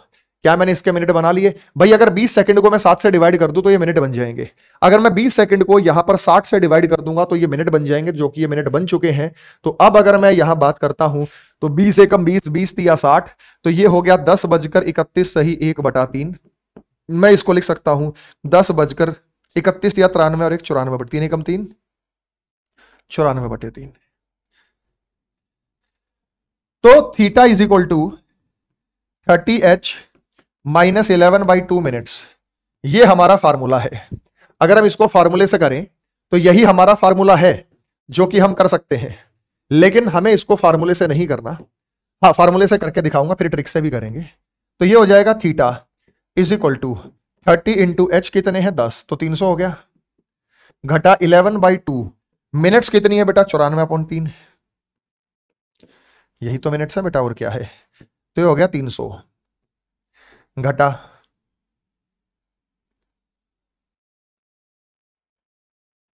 दस बजकर इकतीस और बीस। हाँ ठीक है। घंटे और सुई के बीच के कोण का अंतर ज्ञात किया। तो ये तो मैंने फार्मूले से कर दिया। तो हमारे पास हो गया ये बीस बटे साठ तो इकतीस या तिरानवे और एक चौरानवे बटा तीन हो गया। तो हमने चौरानवे बटा तीन लिख दिया, eleven by two into minute जितनी मिनट्स हो।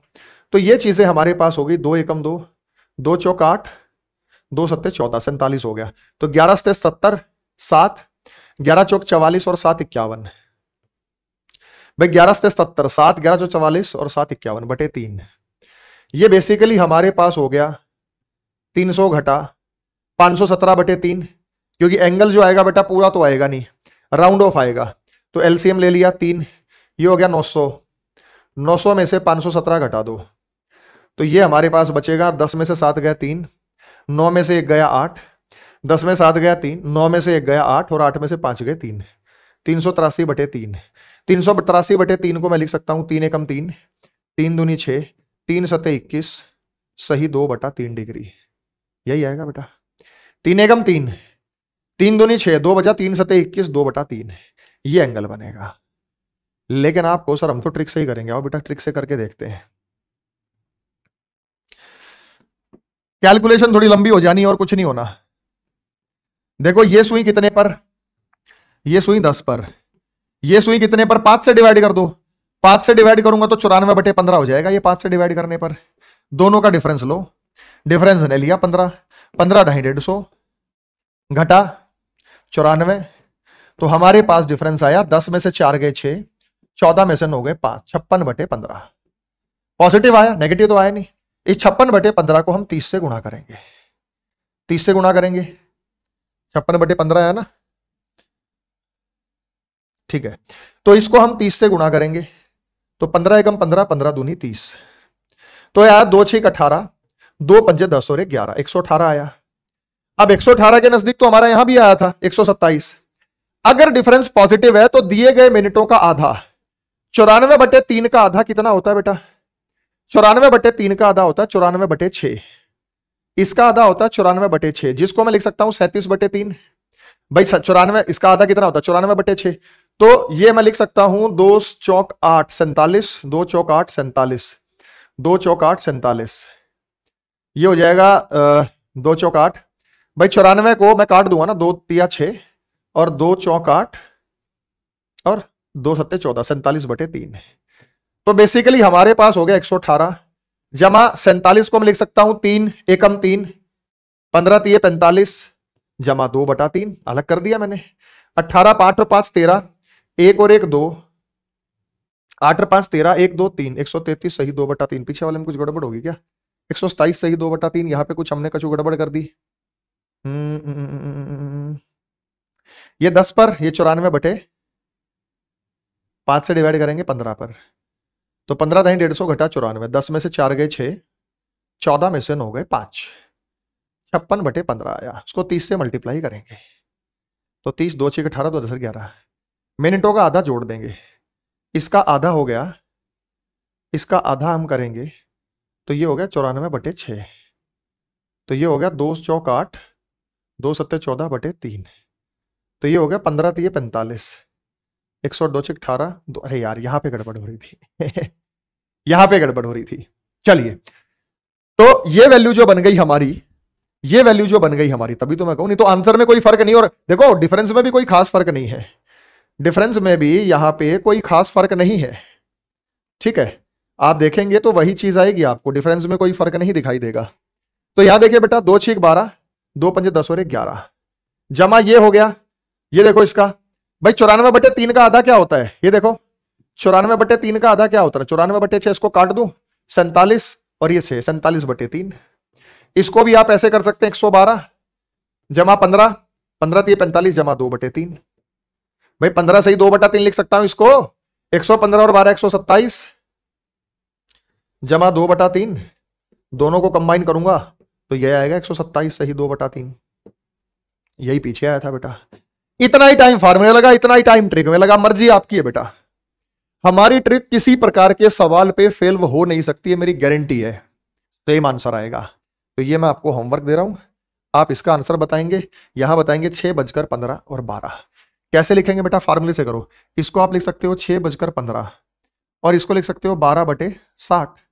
बारह बटे साठ लिख सकते हो। बारह बटे साठ का मतलब होता है चार तीय बारह। बारह बटे साठ का मतलब क्या होता है? चार तीय बारह, चार पंद्रह साठ। आप इसको लिखेंगे छह बजकर पंद्रह से ही। और भी कट जाएगा ना अभी तो। बारह एकम बारह बारह पंजे साठ। तो ये हो जाएगा छह बजकर पंद्रह से ही एक बटा पाँच। छह बजकर पंद्रह पंजे पिचहत्तर और एक छिहत्तर बटे पाँच। तो हमने क्या करना है बेटा? ये सेकंड दे रखे होंगे। इन सेकंड की मिनट बना लेनी है, साठ से डिवाइड करके काट दो, बारह कम बारह बार छह, पंद्रह पंजे छिहत्तर बटे पाँच ही हो गया। ये आवर है, ये मिनट है। करके देख लो बेटा। आंसर पे कोई फ़र्क नहीं पड़ता। दोनों से फार्मूले से कर लो, चाहे ट्रिक से कर लो। तो आप हकीकत में देखेंगे तो चाहे आप फार्मूले से करो, चाहे आप ट्रिक से करो, इसको निकाल सकते हैं। ठीक है मेरे भाई? अगला सवाल भी आपसे पूछा। चार चौवन छह बटे ग्यारह, ये पावर नहीं है। बेसिकली ये लिखना चाहता था, चार बजकर चौवन सही छह बटे ग्यारह पर एंगल बताओ। यहाँ ग्यारह आ जाए ना बेटा, वहाँ फार्मूले को उठाओ क्योंकि ग्यारह से ग्यारह कट जाता है। जहाँ भी ग्यारह आ जाए तो फार्मूले से करना। Theta is equal to thirty H minus eleven by two minutes वो हमारी ट्रिक से भी जाएगा। कोई इश्यू नहीं है, कोई चैलेंज नहीं कर सकता। इस बात को बिल्कुल सेम आंसर आएगा। अगले पर हम चलते बेटा to find the time of zero degree angle देखो बच्चे, अभी तक हमने क्या किया था? अभी तक हमने क्या किया था कि हमें एक टाइम दिया गया था। हमें एक समय दिया गया था। उस समय से हमने एक एंगल निकाला। एंगल मतलब कोण। अब हम उल्टा करेंगे। हमें एक एंगल दिया गया है और हमें एंगल से टाइम निकालना है कि ये एंगल कितने बजे बनेगा। उस एंगल से हमें टाइम निकालना है। पहले हम टाइम से एंगल निकालते हैं। अब हम एंगल से टाइम निकालना है। जैसे आपसे ये कहे। कि to find the time of zero degree angle शून्य डिग्री के कोण का समय ज्ञात करने के लिए। अब ये शून्य डिग्री का कोण है क्या बेटा? जैसे आप ध्यान देंगे इस घड़ी पर तो शून्य डिग्री का कोण जैसे 12 बजे। ज़ीरो डिग्री का कोण बनता नहीं बनता? ज़ीरो डिग्री एंगल है बेटा, देख लो। 12 बजे ज़ीरो डिग्री एंगल है। तो जो ज़ीरो डिग्री एंगल है, मेरा एक सवाल है। मेरा एक सवाल आपसे यह है कि जो ज़ीरो डिग्री का कोण है, वो एक घंटे में कितनी बार बनता है? ये एक घंटे में कितनी बार बनता है? ये बारह घंटों में कितनी बार बनता है? और ये चौबीस घंटे में सुइयाँ कितनी बार एक दूसरे को पार कर लेती हैं, ओवरलैप करती हैं, एक दूसरे के ऊपर होती हैं? तो ये आपसे पूछ रहा है, चौबीस घंटों में ऐसा कितनी बार होता है? आपसे सवाल पूछ रहा है। तो आप कहेंगे, सर, बारह बजे तो हो रहा है। बेटा, देखो, यहाँ भी हो रहा है। थोड़ा सा एक से आगे आप चेक करेंगे।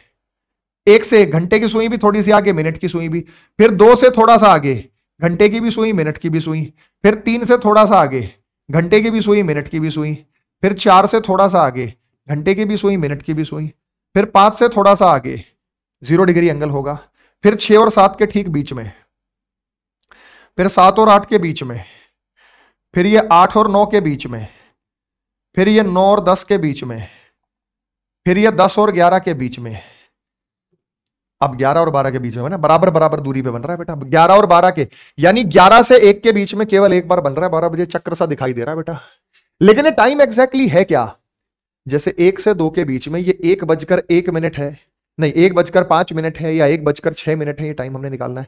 ये एक घंटे में, ये हर घंटे में एक बार बनता है, क्योंकि मिनट की सुई घंटे की सुई से तेज चलती है। मिनट की सुई क्या चलती है बेटा? घंटे की सुई से तेज चलती है। तो अगर मिनट की सुई घंटे की सुई से तेज चलती है तो उसको स्पीड से चल के उसको कवर कर लेगी स्पीड से चल के उसको पार कर लेगी। तो मेरे भाई, एक घंटे में ये एक बार बनता है, बारह घंटे में ये ग्यारह बार बनता है, और चौबीस घंटे में इसका डबल है। ग्यारह बार क्यों बनता है बेटा? देखो, एक से दो के बीच में बन गया, दो से तीन के बीच में बन गया, तीन से चार के बीच में बन गया, चार से पाँच के बीच में, पाँच से छह छह से सात सात से आठ आठ से नौ नौ से दस दस से ग्यारह। ग्यारह से बारह के बीच में नहीं बन रहा, बारह से एक के बीच में नहीं बन रहा, दोनों के बीच में बारह बजे बना हुआ है। क्यों नहीं बन रहा, इस पर हम आगे चर्चा करेंगे। तो आपसे अगर कोई सवाल पूछ ले ऐसा, अगर आपसे कोई सवाल पूछ ले, ठीक है, क्या सवाल पूछेगा? कि ज़ीरो डिग्री के कोण का समय निकालने के लिए तो ट्रिक पर तो मैं बाद में आऊँगा लेकिन घंटे की सुइया एक घंटे कितनी बार ज़ीरो डिग्री का कोण बनाती है? तो इस प्रश्न का उत्तर हम देंगे एक बार। एक बार। उसके बाद आपसे पूछा, बारह घंटे में? तो इसका आंसर हम देंगे ग्यारह बार। ग्यारह बार। और चौबीस घंटे में? इसका आंसर हम देंगे चौबीस बार। घड़ी की सुइयाँ 24 घंटे में कितनी बार ज़ीरो डिग्री का कोण बनाती है? तो इसका उत्तर हम देंगे 24 बार। बात समझ में आ गई मेरे भाई? एकदम क्लियर है? तो ये डायरेक्ट सवाल भी आपसे ऐसे पूछा जाता है। लेकिन कुछ ट्रिक दिखाई थी मैंने आपको। ये ट्रिक क्या कह रही है? Multiply the given hour by sixty upon eleven क्या है ये साठ बटे ग्यारह की बला? दिए गए घंटों को साठ बटे ग्यारह से गुणा कर दो। आंसर, हालाँकि इसका भी फार्मूला होता है, लेकिन मैं कह रहा हूँ फार्मूले की ज़रूरत ही नहीं है। जो ट्रिक हमने बना दी वो जिंदाबाद, शानदार, ज़बरदस्त जिंदाबाद है। कोई ऐसा वो नहीं है कि लॉजिक फेल हो जाए। जो बता दिया ना बेटा, ये निश्चित रूप से फॉलो होगा। ये पैटर्न इसमें कोई किसी प्रकार का परिवर्तन नहीं हो सकता है। कोई चेंज नहीं होगा इसमें। अब इसका क्या मतलब है बेटा? जैसे सवाल कैसे आएगा? सवाल आपसे ऐसे आएगा। तीन से चार के बीच का वह समय ज्ञात कीजिए जब घड़ी की दोनों सुइयाँ ज़ीरो डिग्री पर हो। इसे समानुपाती भी बोला जाता है बेटा। समानुपाती हूँ। संपाति भी बोला जाता है, संपाति। तो अगर लैंग्वेज ऐसी आ जाए तो कंफ्यूज मत होना, वो ज़ीरो डिग्री का पूछ रहा है। समानुपाती से बेहतर संपाति मिलेगा आपको, क्योंकि एक के ऊपर एक ही है, कोई रेशो उनके बीच में बन रहा, वो संपाति है, एक दूसरे के ऊपर है, एक दूसरे का मिलान कर रही है। तीन से चार के बीच का वह समय ज्ञात कीजिए जब घड़ी की दोनों सुइयाँ शून्य डिग्री के कोण पर होती है। मेरे भाई, ये तीन घंटे गुजरने के बाद बनता है। ये रहा। यहाँ पे आपको मैं डायग्राम में दिखाता हूँ, ये रहा।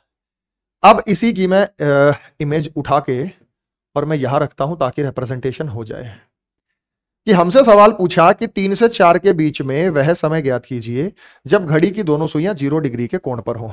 अब तीन से चार के बीच का समय बेटा ये है। आप आप देख लो बेटा, तीन से चार के बीच का जो समय है वो ये है। अब तीन से चार के बीच का समय ये है। ये ज़ीरो डिग्री एंगल बना हुआ है, देख लो बेटा। ये सुई यहाँ होगी और ये सुई यहाँ होगी। लेकिन ये टाइम कितना है? तीन पंद्रह से तो ज़्यादा है। दोनों सुइयाँ यहाँ नहीं हो सकती बेटा, ये गलत है।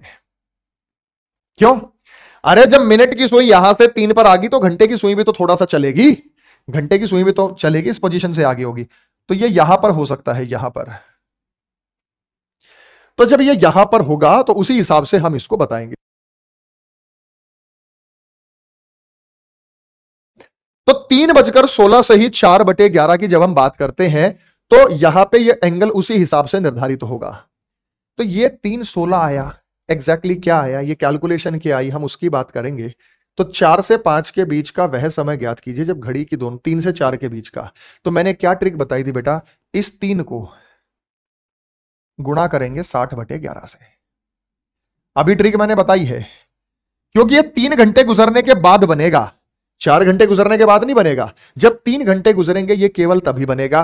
तो ये तीन गुना साठ बटे ग्यारह, ये होता है एक सौ अस्सी बटे ग्यारह। इसको मैं लिख सकता हूँ ग्यारह एकम ग्यारह, सात ग्यारह छह छियासठ सही चार बटे ग्यारह। ये हमारे पास मिनट्स आएँगे। अगर हमारे पास ये मिनट्स हैं तो घंटे कितने थे? तीन। तो हम बोलेंगे तीन बजकर सोलह सही चार बटे ग्यारह। तो हम बोलेंगे तीन बजकर सोलह सही चार बटे ग्यारह। नहीं समझ में आया? ट्रिक तो यही है बेटा, मैंने लिखवा भी रखा है। कि multiply the given hour by sixty by eleven यानी जितने घंटे गुजरने के बाद बने, उसको आप साठ बटे ग्यारह से गुणा कर दीजिए। तो हम साठ बटे ग्यारह से, जैसे एक सवाल आपसे पूछा है चार से पाँच के बीच में जब घड़ी की दोनों सुइयाँ ज़ीरो डिग्री पर हो तो चार घंटे गुजरने के बाद बनेगा मेरे भाई ये। फोर टू फाइव मतलब चार घंटे गुजरने के बाद बनेगा। तो हमें क्या करना होगा? चार गुना साठ बटे ग्यारह। ये हो गया हमारा 240 बटे ग्यारह। जिसका मतलब है ग्यारह दूनी बाईस, ग्यारह एकम, ग्यारह सही नौ बटे ग्यारह। ये हमारे पास आ गई है मिनट्स। अगर ये हमारे पास मिनट्स आ गई हैं तो ये आवर आ गए हैं। चार बजकर इक्कीस सही नौ बटे ग्यारह, ये हमारा आंसर होगा। और ये काम आप बिना पेन पेपर उठाए कर सकते हैं। भाई, चार गुना साठ बटे ग्यारह, दो सौ चालीस बटे ग्यारह ऑप्शन से चेक हो जाएगा। ऑप्शन से ना भी हो तो 240 बटे ग्यारह इंप्रॉपर फ्रैक्शन है, अनुचित भिन्न। उसे मिक्स फ्रैक्शन में मिश्रित भिन्न में लिखना कोई कठिनाई वाला काम नहीं है, कोई मुश्किल वाला जो काम है वो नहीं है, जो आप बता सकते हैं। यस या नो में जवाब दो बेटा। अब छह से सात के बीच में वह समय ज्ञात कीजिए जब घड़ी की दोनों सुइयाँ या दस से ग्यारह के बीच में, आठ से नौ के बीच में। तो ये सवाल आप होमवर्क में है, मैं एक और बता दूँ बेटा, छह से सात के बीच का मतलब क्या है कि हम छह घंटे गुजरने के बाद बनेगा? तो हम क्या करेंगे? हम इस छः को मल्टीप्लाई करेंगे साठ बटे ग्यारह से। ये हो जाएगा तीन सौ साठ बटे ग्यारह। तीन सौ साठ बटे ग्यारह का मतलब है ग्यारह तीय तैतीस तीन, ग्यारह दूनी बाईस सही आठ बटे ग्यारह तो ये बन जाएगा छ बजकर बत्तीस सही आठ बटे ग्यारह, और ये हमारा आंसर होगा। आप देख सकते हैं विजुअलाइज कर सकते हैं, इस फिगर में सोच सकते हैं। छह बत्तीस का मतलब ये है कि ये सुई यहाँ होगी और ये सुई यहाँ होगी। तो ये एंगल जो होगा बेटा, वो ज़ीरो डिग्री का होगा। सुई के ऊपर सुई होगी तो ये हमने देख लिया, ठीक है? उसके बाद बेटा ये क्वेश्चन आप खुद करेंगे। आठ से गुणा करेंगे, साठ बटे ग्यारह की। मिनट्स आएँगे, उसके सामने आठ रख देंगे तो आठ बजकर उतने जैसे, आठ गुना साठ बटे ग्यारह, आठ छह अड़तालीस, चार सौ अस्सी बटे ग्यारह। चार सौ अस्सी बटे ग्यारह का मतलब होता है कि ग्यारह चौक चवालीस। चार, ग्यारह तीस तैतीस forty three seven by eleven भाई, मन मन में ही काम हो जाता है तुरंत कि आठ गुना साठ बटे ग्यारह। तो ये हो गया 480 बटे ग्यारह। जिसको हम ये कह सकते हैं कि ग्यारह चौक चवालीस, चार ग्यारह तैतीस सही सात बटे ग्यारह। तो ये हमारे पास मिनट्स होंगी तो वो आवर्स होंगे तो eight forty three seven by eleven हमारा जो है वो आंसर होगा। अगला सवाल, दस से ग्यारह के बीच। अभी इस वीडियो को पॉज करो। रोक दो। सॉल्व करके देखो आंसर क्या आया। तो चलिए, आपने वीडियो पॉज कर ली, देखा सॉल्व किया तो आपको दस बताना है। ठीक है बेटा तो कोई दिक्कत नहीं थी, दस गुना साठ बटे ग्यारह इजी था, छह सौ बटे ग्यारह, छह सौ बटे ग्यारह ग्यारह पंजे पचपन, पाँच, ग्यारह चौक चवालीस, सही छह बटे ग्यारह, हमने बोल दिया भाई दस चौवन छह बटे ग्यारह पर होगा तो जो सही है। लेकिन मेरे भाई, ये रहा ग्यारह से बारह तो फिर से वीडियो को पॉज करो और सॉल्व करके देखो। ग्यारह से बारह जब घड़ी की सुइयाँ शून्य डिग्री के कोण पर होती है, वीडियो को पॉज कर दीजिए, जैसे आपने वीडियो को पॉज किया अब सोल्व कराता हूँ मैं। ग्यारह गुना साठ बटे ग्यारह। ग्यारह से ग्यारह कैंसिल ये हमारे पास बची साठ मिनट और अगर हमारे पास साठ मिनट बची तो घंटे कितने थे ग्यारह? तो घंटे थे ग्यारह। तो आंसर हो गया ग्यारह साठ। और ग्यारह साठ का मतलब बारह बजे इसका मतलब ग्यारह से बारह के बीच में बनता ही नहीं है ये। इसका मतलब 11 से 12 के बीच में बनता ही नहीं है। मैंने यहाँ भी बताया था, बेटा, ये बात आपको। मैंने यहाँ भी बताया था, ये बात आपको। ये बात आपको मैंने यहाँ भी बताई थी कि ये एंगल 11 से 12 के बीच में नहीं बन रहा है। 12 से 1 के बीच में नहीं बन रहा है। 11 से 1 के बीच में एक बार बन रहा है 12 बजे।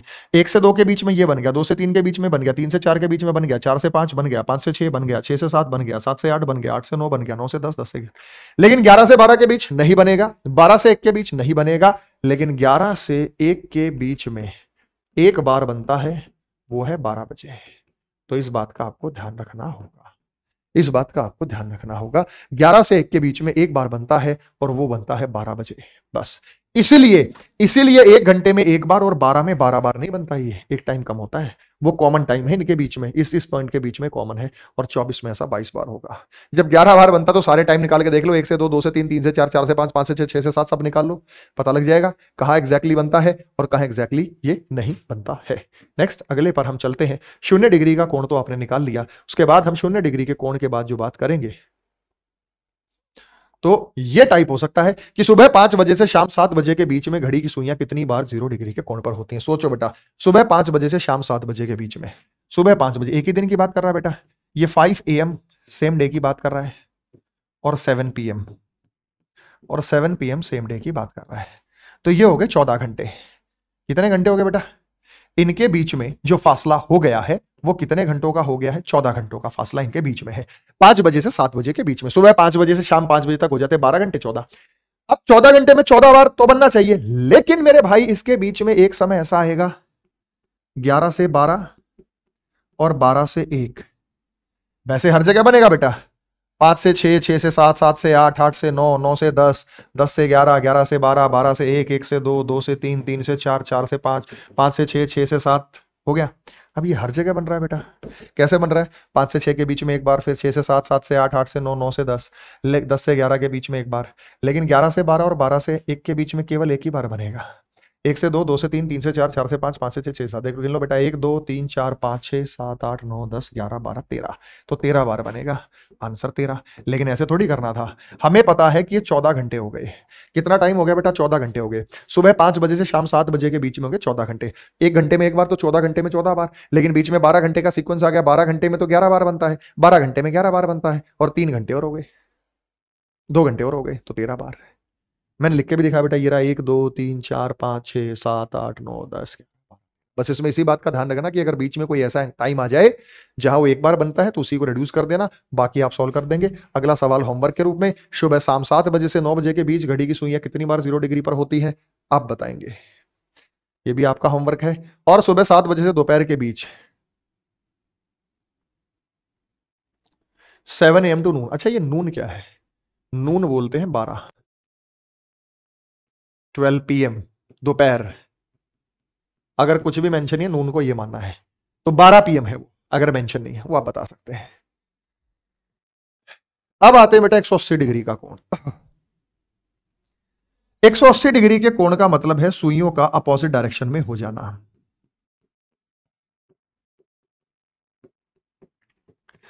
180 डिग्री के कोण का मतलब है सुइयों का अपोजिट डायरेक्शन में हो जाना। सुइयों का विपरीत दिशाओं में हो जाना। सुइयों का विपरीत दिशाओं में हो जाना। ऊपर नीचे। जैसे छह बजे। 180 डिग्री एंगल है, नहीं है बेटा। छह बजे 180 डिग्री, एक सुई बारह पर, एक सुई छह पर। 180 डिग्री एंगल है। सुई विपरीत दिशाओं में है। एक ऊपर, एक नीचे। एक लेफ़्ट, एक राइट। सवा नौ बजे के आसपास। ऐसा भी कोई एंगल हो सकता है बेटा? और भी बतेरे टाइम होंगे। जहाँ ये बंगल बनेगा। तो ज़ीरो की तरह 180 का बिहेवियर भी ऐसा ही है सेम है। तो 180 डिग्री जो एंगल है, जैसे हम बात करते हैं, ये छह बजे 180 डिग्री एंगल बना हुआ है। ये सुई तीन से थोड़ा सा आगे कर दो, ये सुई यहाँ से थोड़ा सा आगे कर दो, ये बना हुआ है। तो बहुत बार बनेगा, उस पर हम चर्चा करेंगे। तो 180 डिग्री का एंगल सुइयों का अपोजिट डायरेक्शन में हो जाना, आमने सामने हो जाना। मेरे भाई 180 डिग्री का एंगल जो है वो एक घंटे में बनता है, वो एक बार बनता है। ज़ीरो और 180 का बिहेवियर सेम है। ज़ीरो और 180 का जो है वो बिहेवियर सेम है। ये एक घंटे में एक बार बनता है, लेकिन ये 12 घंटों में 11 बार बनता है सेम और 24 घंटों में ऐसा 22 बार होता है। क्यों होता है, उस पर मैं चर्चा करूँगा। 24 घंटे में ऐसा 22 बार होता है। क्यों होता है? हम उस पर चर्चा भी करेंगे। तो ये एक घंटे में एक बार बनेगा 12 घंटे में 11 बार बनेगा और 24 घंटे में ये 22 बार 22 टाइम्स ऐसा होता है जब ये सुइया अपोजिट डायरेक्शंस में होती हैं 180 डिग्री का एंगल भी बनाती है। याद रखिएगा इस बात को, ठीक है? ये 12 का डबल 24 इसके दो चक्कर मान लिए 11 का डबल हमने 22 कर दिया और कुछ इसमें विशेष बात नहीं है। लेकिन मेरे भाई, इसके लिए हम 180 के निकालने के लिए हम एक ट्रिक सॉल्व करेंगे। 60 बाई इलेवन हमारी यूनिवर्सल ट्रिक है। तो 180 डिग्री का कोण ज्ञात करने के लिए एक ट्रिक है। If the number of hour given are more than six then subtracting six to the given time before multiplying to sixty by eleven यदि दिए गए घंटों की संख्या छह से अधिक है तो साठ बटे ग्यारह से गुणा करने से पहले दिए गए समय में छह घटाया जाता है।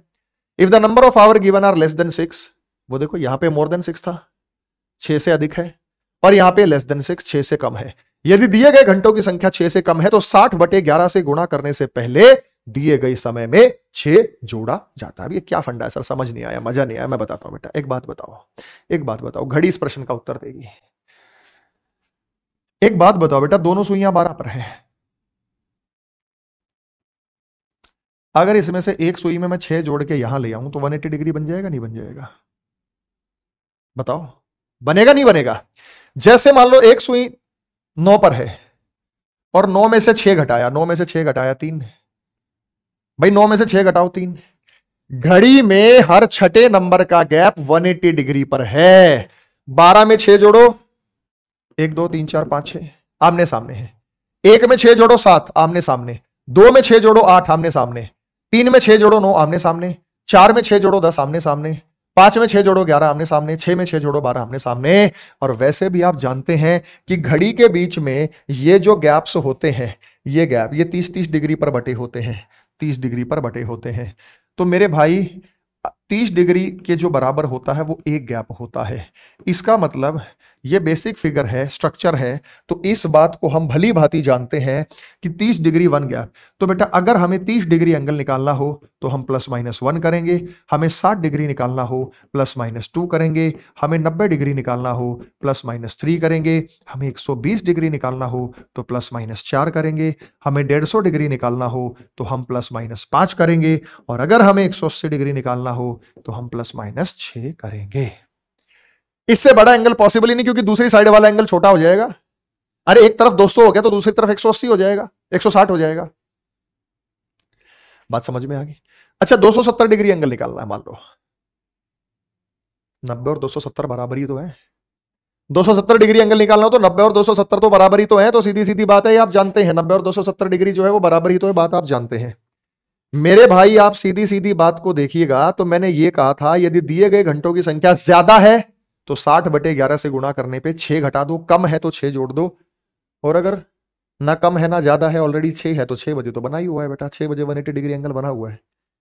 ना कम है, ना ज़्यादा है, छह बजे तो छह बजे हमारा वन डिग्री एंगल ऑलरेडी बना हुआ है। मेरे भाई, जब इस पर आप आएँगे तो तीन से चार के बीच में वह समय ज्ञात कीजिए। अब ये बताओ बेटा, घंटों की संख्या छह से कम है? छह से कम है? ये क्या है बेटा, छह से कम? और मैंने कहा, अगर छह से कम है तो इसमें छह जोड़ दो। तीन और छह, नौ। नौ गुना साठ बटे ग्यारह। तो ये हो गया 540 बटे ग्यारह। पाँच सौ चालीस बटे ग्यारह का मतलब है ग्यारह चौक चवालीस। दस, ग्यारह नौ निन्यानवे। सही एक बटे ग्यारह। पूरा घंटे कितने छे तीन। तो तीन बजकर उनचास, सही एक बटे ग्यारह। चाहे तो बेटा घड़ी में रख के देख लेना, घड़ी को लूज करके डायल लूज करके घुमा के। तीन बजकर उनचास, सही एक बटे ग्यारह का मतलब क्या है? तीन पचास के आसपास। ये सुई यहाँ पहुँचने वाली है मिनट की और घंटे की सुई यहाँ पहुँचने वाली है, चार पर। अभी पहुँची नहीं, पहुँचने वाली है। ये है तीन उनचास। चेक करो बेटा, है या नहीं? आमने सामने है सुई। और तीन से चार के बीच का टाइम है। ये तीन है और ये चार है। इनके बीच का टाइम है। इनके बीच का टाइम है। तीन से चार के बीच का टाइम है। तो घड़ी की जो दोनों सुइयाँ हैं, मेरे भाई, आप यहाँ पर देख रहे हैं कि घड़ी की दोनों सुइयाँ जो हैं, वो विपरीत दिशा में हो। या 180 डिग्री के कोण पर हो। या विपरीत दिशा में हो, इसकी एक और लैंग्वेज भी होती है, वो भी मैं आपको बताऊँगा। मुझे बताइए कि यहाँ तक का लॉजिक आपको समझ आया या नहीं समझ में आया? इसमें किसी को कोई किसी प्रकार की दिक्कत, परेशानी या समस्या हुई हो तो मुझे बता दीजिएगा। एकदम बढ़िया भाई, सारे के सारे। मज़ेदार। आया समझ में, पल्ले पड़ा कुछ। अब देखो बेटा, ये तो ज़्यादा है, ये छह से ज़्यादा है। भाई, नौ घंटे गुजरने के बाद ही तो बनेगा। Find the time between nine to ten when both hands of clock are at 180 degree angle और when both hand of clock are opposite direction तो ये नाइन है। इस नौ में से छह घटाएँगे। ज़्यादा है ना? नौ में से छह घटाएँगे, तीन आएगा। तीन गुना साठ बटे ग्यारह। ये हो गया हमारे पास 180 बटे ग्यारह। 180 बटे ग्यारह का मतलब है ग्यारह एकम ग्यारह। सात ग्यारह छह छियासठ। ग्यारह एकम ग्यारह। सात, ग्यारह, छह, छियासठ, सही चार बटे ग्यारह। ये हमारे पास मिनट्स आ गई। अगर ये मिनट्स आ गई तो घंटे कितने थे? नौ। तो हमारे पास बनेगा नौ बजकर सोलह सही चार बटे ग्यारह और हमारा आंसर होगा। और ये काम भी आप वर्बली कर रहे होंगे। हमें पता है। अच्छा छह का याद रखने की ज़रूरत नहीं, मैंने बता दी, एक गैप तीस डिग्री के बराबर होता है। तो एक सौ अस्सी डिग्री निकालने के लिए हम प्लस माइनस छह करेंगे। तो नौ जो है वो छह से ज़्यादा है। नौ में से छह घटा के तीन, तब हमें सुइयों को आमने सामने करना होगा। तो हमने नौ में से छह घटाया। नौ में से छह घटाया तीन आया। तो तीन गुना साठ बटे ग्यारह, एक सौ अस्सी बटे ग्यारह। एक सौ अस्सी बटे ग्यारह, ये अनुचित भिन्न है इम्प्रॉपर फ्रैक्शन है। इसे मिक्स फ्रैक्शन में लिखेंगे तो सोलह सही चार बटे ग्यारह हमारा आएगा। तो नौ बजकर सोलह सही चार बटे ग्यारह, जो कि काम आप वर्बली आंसर कर सकते हैं। बिल्कुल ऐसा नहीं है कि आपको किसी, यहाँ पे दुविधा में कोई फंसने वाली बात हो। ठीक है बेटा, कम है तो जोड़ दो, ज़्यादा है तो घटा दो। कम है तो जोड़ दो, ज़्यादा है तो घटा दो। ठीक है तो ये सवाल आप खुद करेंगे। दो में छह जोड़ेंगे।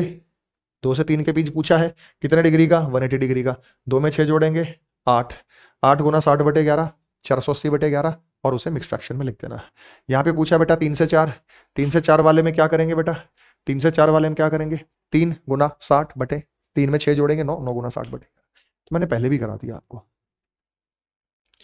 मेन है ये। अभी की अभी इस वीडियो को पॉज करें और इस वीडियो को पॉज करने के ये सवाल सॉल्व करो और ये आपको कई चीज़ों के बारे में बताएगा। कई चीज़ें ऐसी हैं जो आप यहाँ पे ऑटोमेटिकली समझ जाएँगे। आप भी ये कहेंगे गुरु जी बड़े आसान तरीके से हमें चीज़ें यहाँ पे आपने समझा दी है। चलिए पॉज करने के बाद इसको मैं समझाता हूँ। पाँच से छह के बीच में बताना है। मेरे भाई, आप जानते हैं कि यहाँ पे पाँच, ये छह से कम है तो इसमें छह जोड़ेंगे। पाँच और छह होता है ग्यारह। ग्यारह गुना साठ बटे ग्यारह। ग्यारह से ग्यारह कैंसिल करेंगे तो हमारे पास ये आया बेटा साठ, और ये साठ हमारे पास मिनट आई। अगर हमारे पास साठ मिनट आई तो घंटे वही पाँच है बेटा, पाँच साठ। और पाँच साठ का मतलब कितना होता है बेटा? छः बजे। पाँच साठ का जो मतलब होता है वो छः बजे। आप छह बजे देखेंगे तो दोनों सुइयाँ एग्जैक्टली एक पोजीशन पर मौजूद फिर छह से सात पूछे तो? तो आप कहेंगे, सर, छह में जोड़ेंगे या घटाएँगे? अगर कोई कहता है, सर, छह से सात पूछे तो। बेटा, छह से सात का कोई लॉजिक ही नहीं है। छह बजे ऑलरेडी बना हुआ है। ये पूछने वाली बात नहीं, छह में से छह घटाएँगे ज़ीरो हो जाएगा। छह बजे वन एटी डिग्री एंगल बना हुआ है। तो डाउट वाली कोई बात नहीं है।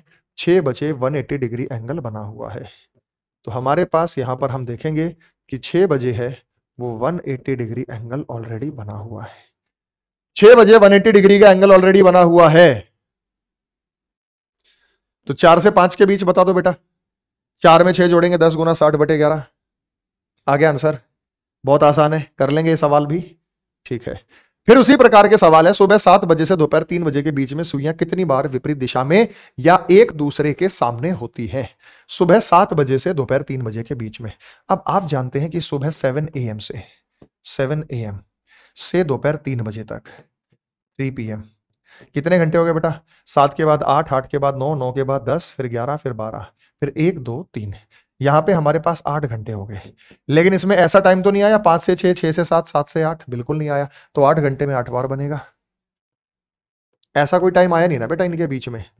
भाई, हर जगह बनेगा, लेकिन पाँच से छह के बीच नहीं बनेगा, छह से सात के बीच नहीं बनेगा, लेकिन पाँच से सात के बीच में एक बार बनेगा ज़ीरो डिग्री का एंगल और वो भी छह बजे बनेगा। ये चीज़ मैं आपको यहाँ इस डायग्राम के माध्यम से भी बता चुका हूँ। मेरे भाई, यहाँ पे जब आप देखेंगे तो एक सीधी सीधी बात है कि 180 डिग्री एंगल हर जगह बन रहा है। लेकिन पाँच से छह के बीच में नहीं बनेगा, छह से सात के बीच में नहीं बनेगा। लेकिन पाँच से सात के बीच में एक बार बनेगा, वो छह बजे आमना सामना इनका होगा। भाई वो ज़ीरो डिग्री ग्यारह से बारह के बीच नहीं बनता था, बारह से एक के बीच नहीं बनता था। उसी चीज़ को नीचे ले आओ। ये पाँच से छह के बीच नहीं बनेगा, छह से सात के बीच नहीं बनेगा, पाँच से सात के बीच में एक बार बनेगा ज़ीरो डिग्री ग्यारह से एक के बीच में एक बार। क्यों? ऐसा क्यों हुआ? क्योंकि भाई ज़ीरो डिग्री बारह बजे ऑलरेडी ज़ीरो डिग्री बना हुआ है। तो ये टाइम इधर भी कॉमन है और इधर भी कॉमन है। इसी प्रकार से छह बजे 180 डिग्री एंगल बना हुआ है। ये टाइम इधर भी कॉमन है और ये टाइम इधर भी कॉमन है। दोनों तरफ़ जो टाइम है वो ये कॉमन है। अगले पर हम बात करते हैं बेटा। तो 180 हो गया, अब आते हैं 90 डिग्री। ये आपका होमवर्क है बेटा। सोमवार सुबह नौ बजे से मंगलवार दोपहर बारह बजे के बीच में घड़ी की दोनों सुइयाँ कितनी बार? है तो पहले तो बेटा आपको ये निकालना पड़ेगा कितने हो गए। मंडे सुबह नाइन पीएम से एम से। ट्यूसडे नाइन एम तक 12 घंटे हो गए 24 घंटे हो गए। बोलो हाँ या ना? भाई, सोमवार सुबह नौ बजे से मंगलवार दोपहर 12 बजे तक और फिर हम बात करते हैं ट्यूसडे 12 पीएम या 12 नून। तो तीन घंटे और हो गए। ये बात आप जानते हैं कि 24 घंटे में 22 बार बनेगा। क्योंकि बीच में दो टाइम ऐसे आएँगे जहाँ पे वो नहीं बनेगा। फिर 9 से 10 बनेगा 10 से 11 बनेगा 11 से 12 भी बनेगा। तीन घंटे में तीन बार और बनेगा। बाईस और तीन कितनी बार हो गया बेटा? पच्चीस बार बनेगा। ऐसा सॉल्व कर लो बेटा। बाईस और तीन कितनी बार बनेगा? पच्चीस बार। तो इस प्रकार से जो सवाल है, वो आपको यहाँ पे दिए जा सकते हैं। कोई भी एंगल जो है, वो आप यहाँ पे निकाल सकते हैं। अगली बात हम करते हैं बेटा 90 डिग्री का एंगल 90 डिग्री का एंगल क्या होता है बेटा? 90 डिग्री एंगल जैसे तीन बजे 90 डिग्री बना हुआ है। ये 90 डिग्री का कोण है। एक तीन बजे बना हुआ है बेटा तो एक ये ऐसे भी बना हुआ है। ये सुई यहाँ पर आके यहाँ आ जाएगी, तब बनाएगी। लेकिन ये थोड़ा सा तीन से आगे होगी थोड़ा सा छह से आगे होगी। तो मेरे भाई, जो 90 डिग्री एंगल है, वो एक घंटे में कितनी बार बनता है?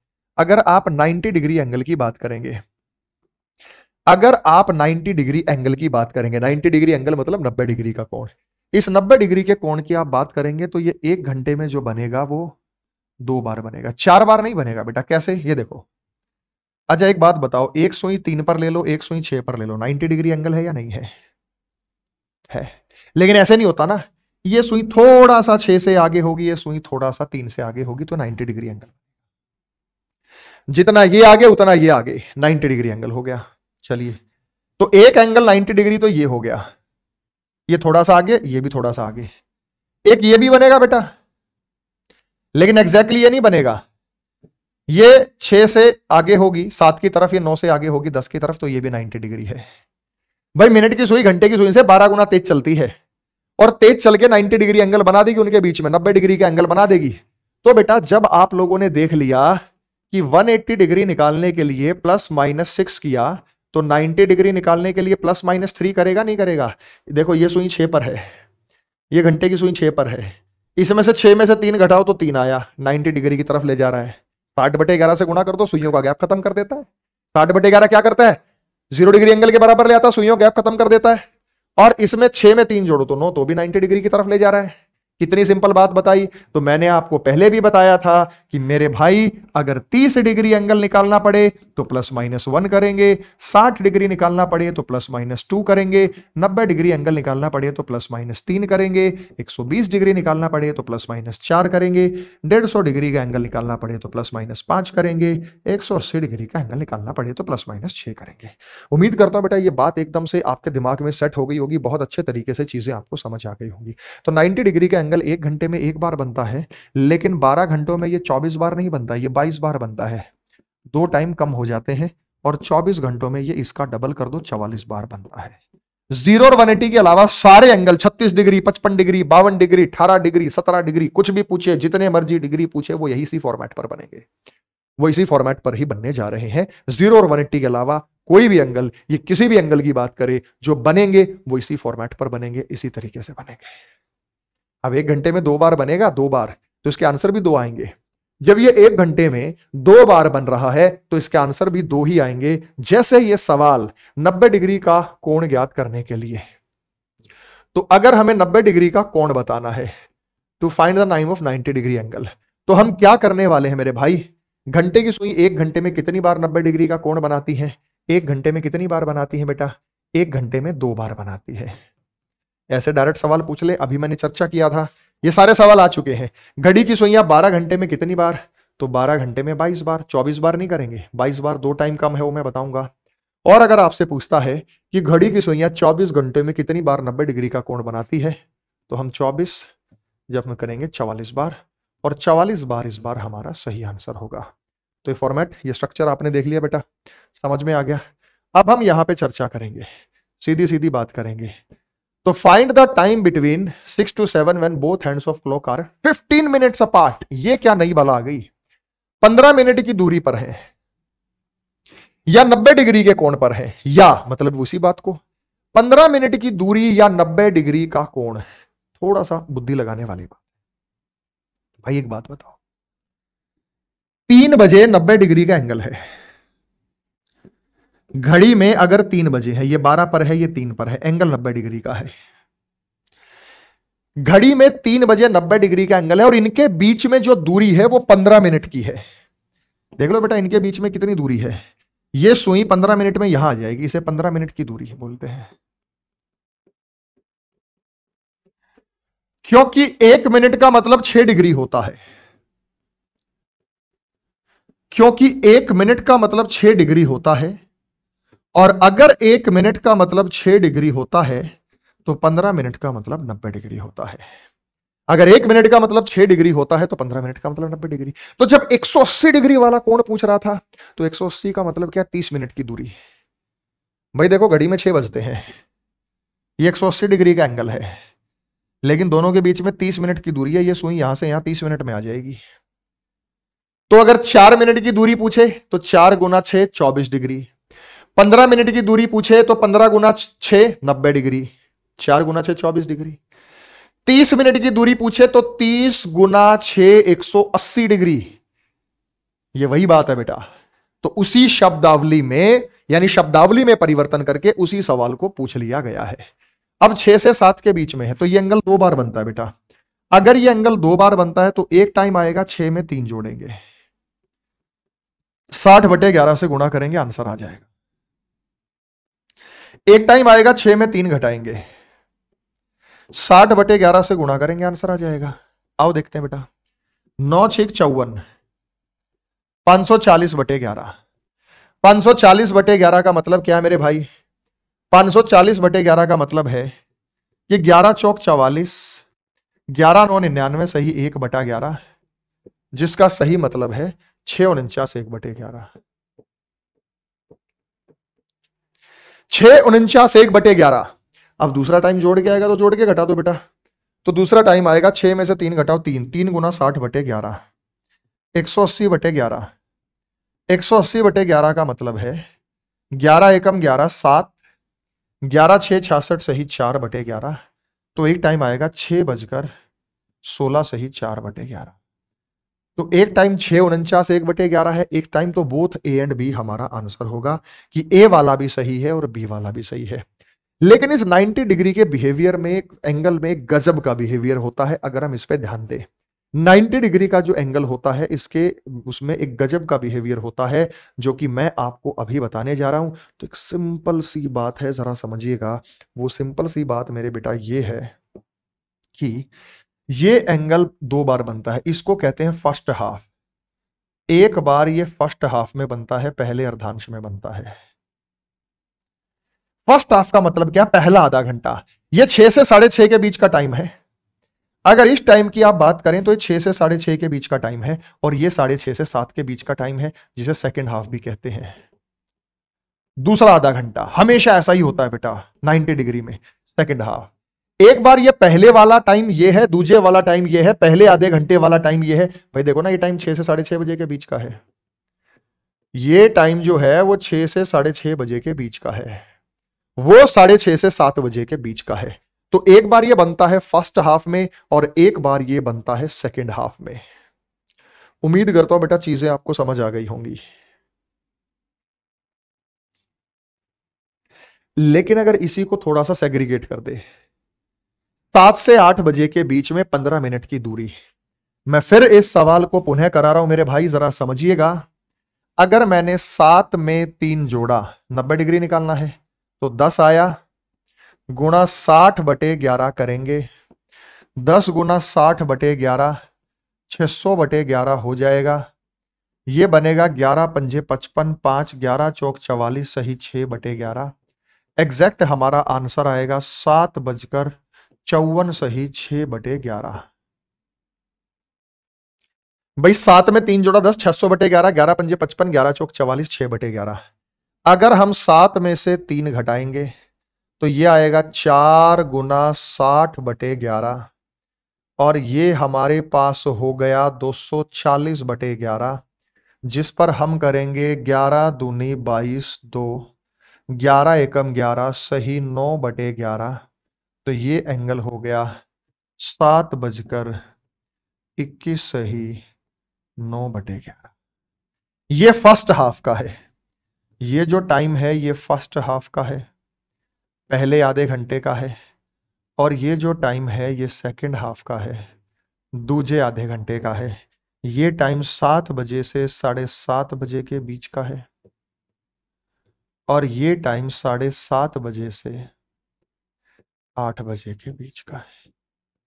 ये सेकंड हाफ़ कहलाएगा और ये फ़र्स्ट हाफ़ कहलाएगा अगर ये क्वेश्चन में कह दे कि पहले आधे घंटे वाला टाइम बताओ फ़र्स्ट हाफ़ वाला टाइम बताओ, पहले आधे घंटे वाला, तब आप इसको चूज़ करेंगे। दूजे आधे घंटे वाला बताए तो ये, कुछ ना मेंशन हो तो दोनों में से कोई सा भी हो सकता है या दोनों, जैसे बोथ वाला ऑप्शन मैंने लगा के दिया था तो बोथ वाले ऑप्शन से भी आप इसे बता सकते हैं। वो डिपेंड करेगा क्वेश्चन के स्ट्रक्चर के ऊपर कि क्वेश्चन जो पूछा गया है, वो किस आधार पर और किस तरीके का आपसे पूछा गया है।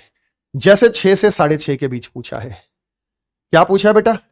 छह से साढ़े छह के बीच। का वह समय जब घड़ी की दोनों सुइयाँ पंद्रह, अब छह से साढ़े छह के बीच का समय तो ये था बेटा। ये और ये दोनों ऑप्शन में हो तो आंसर ये होगा छह सोलह चार बटे ग्यारह। तब हमारा आंसर होगा छह सोलह चार बटे ग्यारह। तो हम यहाँ पे जो आंसर देंगे, वो छह बजकर सोलह सही चार बटे ग्यारह हमारा आंसर होगा। अब सवाल ये, सर, हमें कैसे पता चलेगा कहाँ तीन जोड़ना, कहाँ घटाना, क्या हम हिट एंड ट्रायल करेंगे? पहले छह में तीन जोड़ेंगे, फिर छह में तीन नहीं बेटा, उसकी भी पहचान बताऊँगा कि कैसे आप इसको पहचान सकते हैं। अगर यहाँ पे साढ़े छह से सात के बीच का टाइम पूछे, साढ़े छह से सात के बीच, ये मैंने बताया था, ये टाइम साढ़े छह से सात के बीच का है। ये छह उनचास एक बटे ग्यारह, छह उनचास एक बटे ग्यारह तो हमारा यहाँ पे आंसर होगा कि छह उनचास एक बटे ग्यारह। लेकिन सवाल ये कि सर हमें कैसे पता चलेगा? भाई सीधी सी बात है, इसका उत्तर हमारा आंसर जो है वो देगा। और आप बता सकते हैं, घड़ी के माध्यम से इसका उत्तर होगा। घड़ी इसका उत्तर अपने आप दे देगी आपको। भाई अपने माइंड, आप सभी के माइंड में घड़ी है। आप सभी अपने माइंड में घड़ी को बहुत अच्छे से इमेजिन कर सकते हैं। आप सभी अपने माइंड में इस घड़ी को बहुत अच्छे से सोच सकते हैं, बहुत अच्छे से एनालिसिस कर सकते हैं। अगर आप ऐसी बात पर आते हैं तो बेटा एक बात बताओ मान लो मुझे छह से साढ़े छह के बीच निकालना है। छह से साढ़े छह मतलब पहला आधा घंटा। इसके मैं दो हिस्से कर दूँ। ये पहला आधा घंटा है और ये दूजा आधा घंटा। ये सारे के सारे जानते हैं बेटा? यहाँ पाँच मिनट, दस मिनट, पंद्रह मिनट, बीस मिनट, पच्चीस मिनट, तीस मिनट, ये सब पहला आधा घंटा है। ये दूजा आधा घंटा है। तो अगर हम यहाँ पे बात करते हैं मेरे भाई तो एक सीधी सीधी बात है। अगर मैं छह में तीन घटाऊँगा तो तीन आएगा। तीन कौन से हाफ़ में? फ़र्स्ट तो छह में से तीन घटाऊँगा, तब फ़र्स्ट हाफ़ का टाइम आएगा। अगर मैं छह में तीन जोड़ूँगा, छह और तीन नौ तो तीन जोड़कर सेकंड हाफ़ का टाइम आएगा। मान लो पाँच से छह के बीच पूछा है। पाँच में से तीन घटाऊँगा, दो। ये फ़र्स्ट हाफ़ का टाइम आएगा। पाँच में तीन जोड़ूँगा, आठ। ये सेकंड हाफ़ का, क्योंकि आठ नंबर बिंदु सेकंड हाफ़ में है सुई आठ के नज़दीक जा रही है तो वो सेकंड हाफ़ में है। तो इस प्रकार आप फ़र्स्ट हाफ़ और सेकंड हाफ़ का जो टाइम है, वो डिसाइड कर सकते हैं। फ़र्स्ट हाफ़ सेकंड हाफ़ से बता सकते हैं कि कहाँ प्लस होगा, कहाँ माइनस होगा। इसमें सबसे मुख्य पॉइंट यहाँ था, दस से ग्यारह। अभी इस वीडियो को पॉज करें, अभी इस वीडियो को पॉज करें और इस क्वेश्चन को सॉल्व करके देखें। आपके दोनों टाइम नहीं आएँगे, आपका पेज फंसेगा। पॉज करो और इस वीडियो को, इस क्वेश्चन को सॉल्व करके देखो। जब आपने पॉज किया वीडियो और सोल्व किया तो आपने क्या किया बेटा? दस में तीन जोड़ा तो तेरह तेरह गुना साठ बटे ग्यारह, और ये सात सौ अस्सी बटे ग्यारह, और ये बड़ा गलत सलत सा आ रहा है, ग्यारह सत्तर सतहत्तर, एक, ज़ीरो। ऐसा कोई टाइम हो ही नहीं सकता बेटा, दस सत्तर का। तो गलत जा रहा है। नहीं करना बेटा ऐसे। अरे भाई साहब, घड़ी इसका उत्तर अपने आप आपको दे देगी।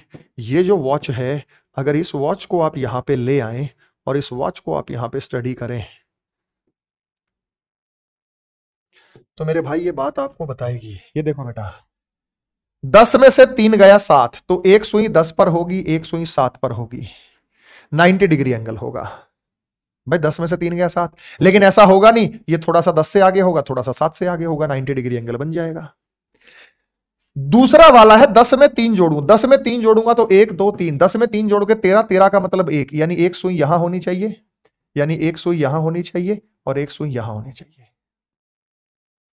दस और तीन, तेरह तेरह का मतलब एक। एक सुई यहाँ होनी चाहिए और एक सुई यहाँ होनी चाहिए। इस बात पर भी आप चर्चा करेंगे।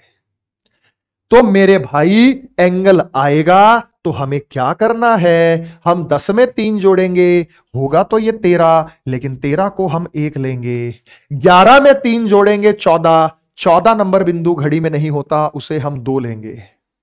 तो दस और तीन तेरह तेरह पर जो होता है वो एक होता है और एक गुना साठ बटे ग्यारह।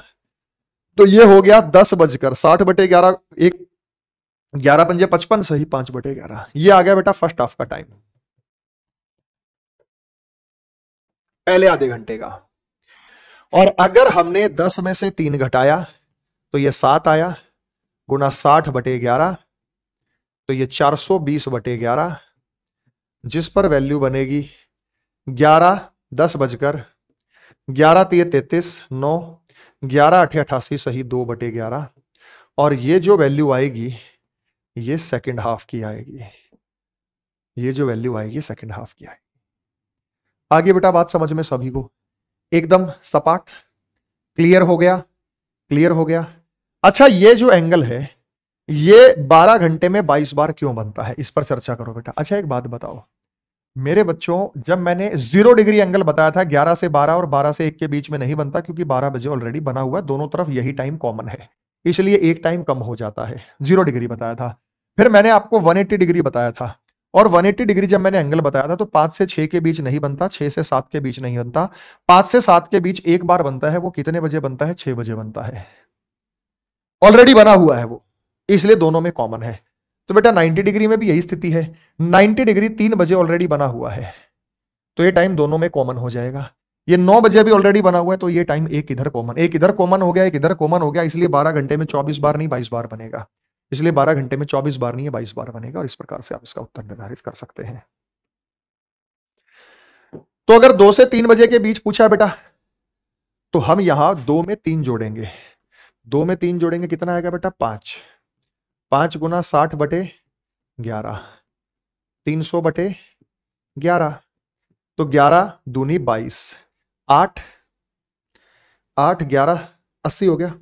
ग्यारह सत्तर सतहत्तर। सही तीन बटे ग्यारह तो हमारा आंसर आया दो बजकर सत्ताईस सही तीन बटे ग्यारह। अगर हम दो में से तीन घटाएँगे तो माइनस वन नहीं करना मेरे भाई, ना। दो में से तीन घटाओ, ये दो नंबर बिंदु, इसमें से तीन घटाओ। एक, दो, तीन तो ग्यारह लेना है। दो में से तीन घटाएँगे तो ग्यारह लेना है। तो दो में से तीन घटाएँगे तो मेरे भाई ग्यारह लेना है। तो दो में से तीन घटाना है तो हमें ग्यारह लेना है। क्यों लेना है? मैंने रीजन बता दिया। साठ बटे ग्यारह ग्यारह से ग्यारह कैंसिल करो तो हमारे पास बचा ये साठ, जिसका मतलब है दो साठ, और दो साठ का मतलब होता है तीन बजे। तो कहा बना बेटा? जाल के सीधा तीन पे बना, वही टाइम कॉमन था। ऐसे आप उसे रिलेट करके बता सकते हैं। यानी ये हर घंटे में दो बार बनता है।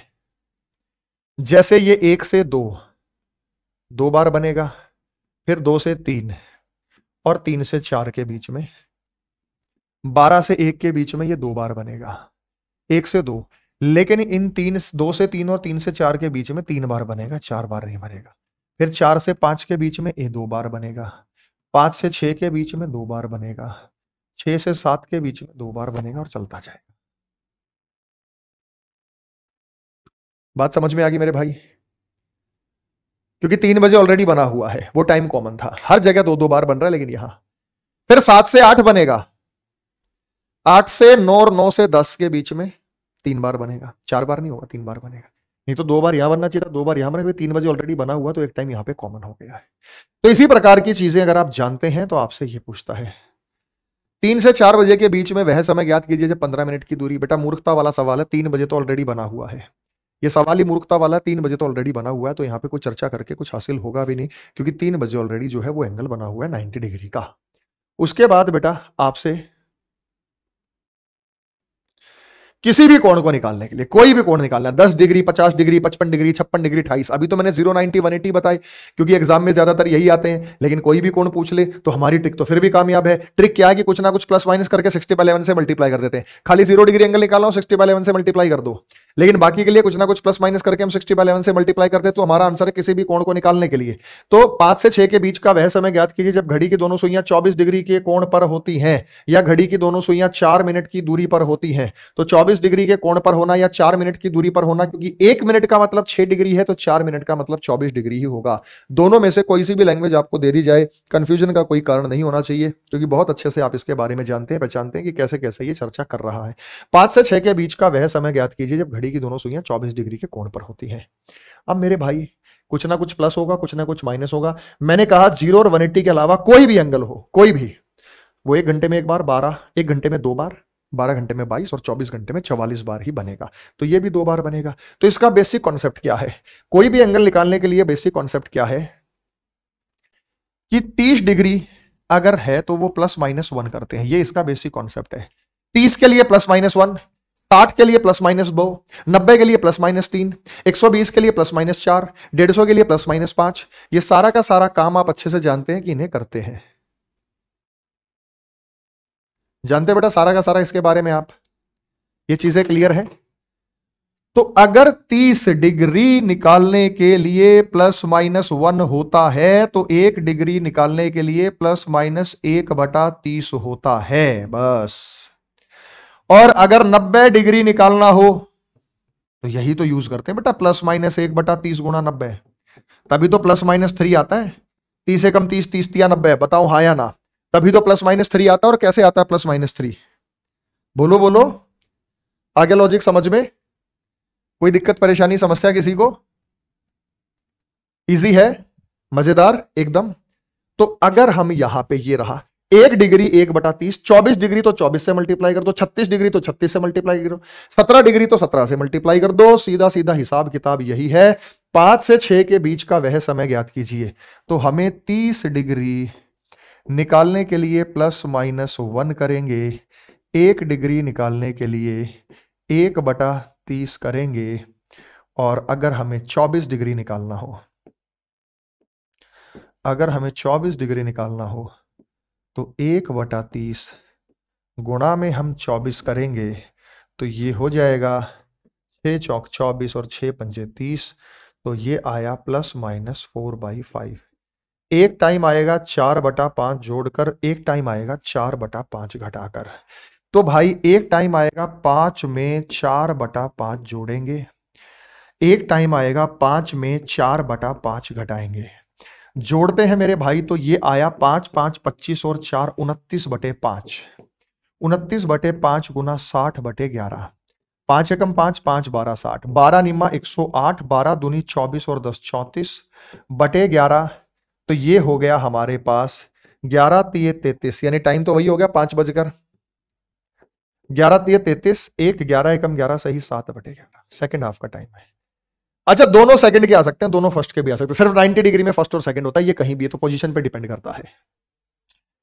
पाँच पाँच पच्चीस पच्चीस में से चार गए। देखो पाँच पाँच पच्चीस पच्चीस और चार उनतीस। पाँच पंजे पच्चीस पच्चीस में से चार गए। इक्कीस बटे पाँच गुणा साठ बटे ग्यारह। तो हमारे पास ये हो गया, पाँच एकम पाँच पाँच बारह साठ, बारह एकम बारह बारह दुनी चौबीस और एक पच्चीस। दो सौ बावन बटे ग्यारह, जिसका मतलब होगा पाँच बजकर ग्यारह दूनी बाईस, तीन ग्यारह दूनी बाईस, सही दस बटे ग्यारह। पाँच बजकर बाईस सही ये फ़र्स्ट हाफ़ कहा गया। फिर बता दूँ, पाँच पाँच पच्चीस में से चार गए इक्कीस बटे पाँच गुना साठ बटे ग्यारह, पाँच एकम पाँच पाँच बारह साठ, बारह एकम बारह बारह दूनी चौबीस और एक पच्चीस, दो सौ बावन बटे ग्यारह। तो हमारे पास ये हो गया बेटा, ग्यारह दूनी बाईस, तीन ग्यारह दूनी बाईस, पाँच बाईस, दस बटे ग्यारह। तो ये फ़र्स्ट हाफ़ का ही सेकंड हाफ़ का, कोई एंगल निकालना हो बेटा, कोई चैलेंज नहीं है। जैसे यहाँ पे पाँच से छह के बीच का पहले वाला समय, ध्यान से देखिएगा बेटा, पहले वाला समय। अगर पहले वाले समय की हम बात करते हैं तो ये पाँच से छह के बीच का पहले वाला समय कौन सा होगा? पाँच बाईस, दस बटे ग्यारह। तो पहले वाला समय क्या होगा? हम कहेंगे पाँच बाईस दस बटे ग्यारह। फिर ये दूजे वाले समय की बात करता है, दूसरे वाला समय। ऑफ़ सेकेंड हाफ़ दूसरे वाले समय की जब ये बात करता है तो मेरे भाई दूसरे वाला है पाँच इकतीस सात बटे ग्यारह। तो ये हमारा जो आंसर होगा, ये होगा पाँच इकतीस सात बटे ग्यारह। पहले हाफ़ और सेकेंड हाफ़ का। और कोई सा पूछ ले बेटा, जैसे ये पूछ लिया इन्होंने। छह से सात के बीच में पंद्रह मिनट की दूरी कितनी बार, ये तो आप कर ही चुके हैं। ठीक है बेटा? अच्छा सपोज़ करो सपोज़ करो मैंने आपको ये दिया। मैंने कहा कि सात से आठ के बीच में छत्तीस डिग्री का एंगल बताना है। तो हम क्या करेंगे बेटा? हम करेंगे कि तीस डिग्री निकालने के लिए हम प्लस माइनस वन करते हैं। एक डिग्री निकालने के लिए प्लस माइनस एक बटा तीस करते हैं और छत्तीस डिग्री निकालने के लिए हम प्लस माइनस एक बटा तीस गुना छत्तीस करते हैं। छह पंजे तीस, छह छिक छत्तीस तो एक टाइम आएगा दिए गए समय में छह बटा पाँच जोड़कर, एक टाइम आएगा छह बटा पाँच घटाकर। तो अगर हम सात में छह बटा पाँच जोड़ें, फिर एलसीएम ले और साठ बटे ग्यारह से गुणा करें, हमारा आंसर आ जाएगा। इसी प्रकार से सात में से छह बटा पाँच घटाएँ, जो आएगा एलसीएम ले और साठ बटे ग्यारह करें और हमारा आंसर आ जाएगा। बताइए कैसा है? एकदम परफेक्ट भाई। हमारे किसी भी भाई को कोई किसी प्रकार की समस्या हो, दुविधा हो, दिक्कत हो, परेशानी हो, स्वागत है, आप पूछ सकते हैं। कमेंट सेक्शन में अपना डाउट टाइप कीजिएगा, हम आपको ज़रूर जवाब देंगे। फिर कोई पूछ रहा, सर, इसका पीडीएफ कहाँ मिलेगा? इसका पीडीएफ, ये जो मैं सारा लिखवा रहा हूँ, ये पीडीएफ आपको मेरे टेलीग्राम चैनल पे मिल जाएगा।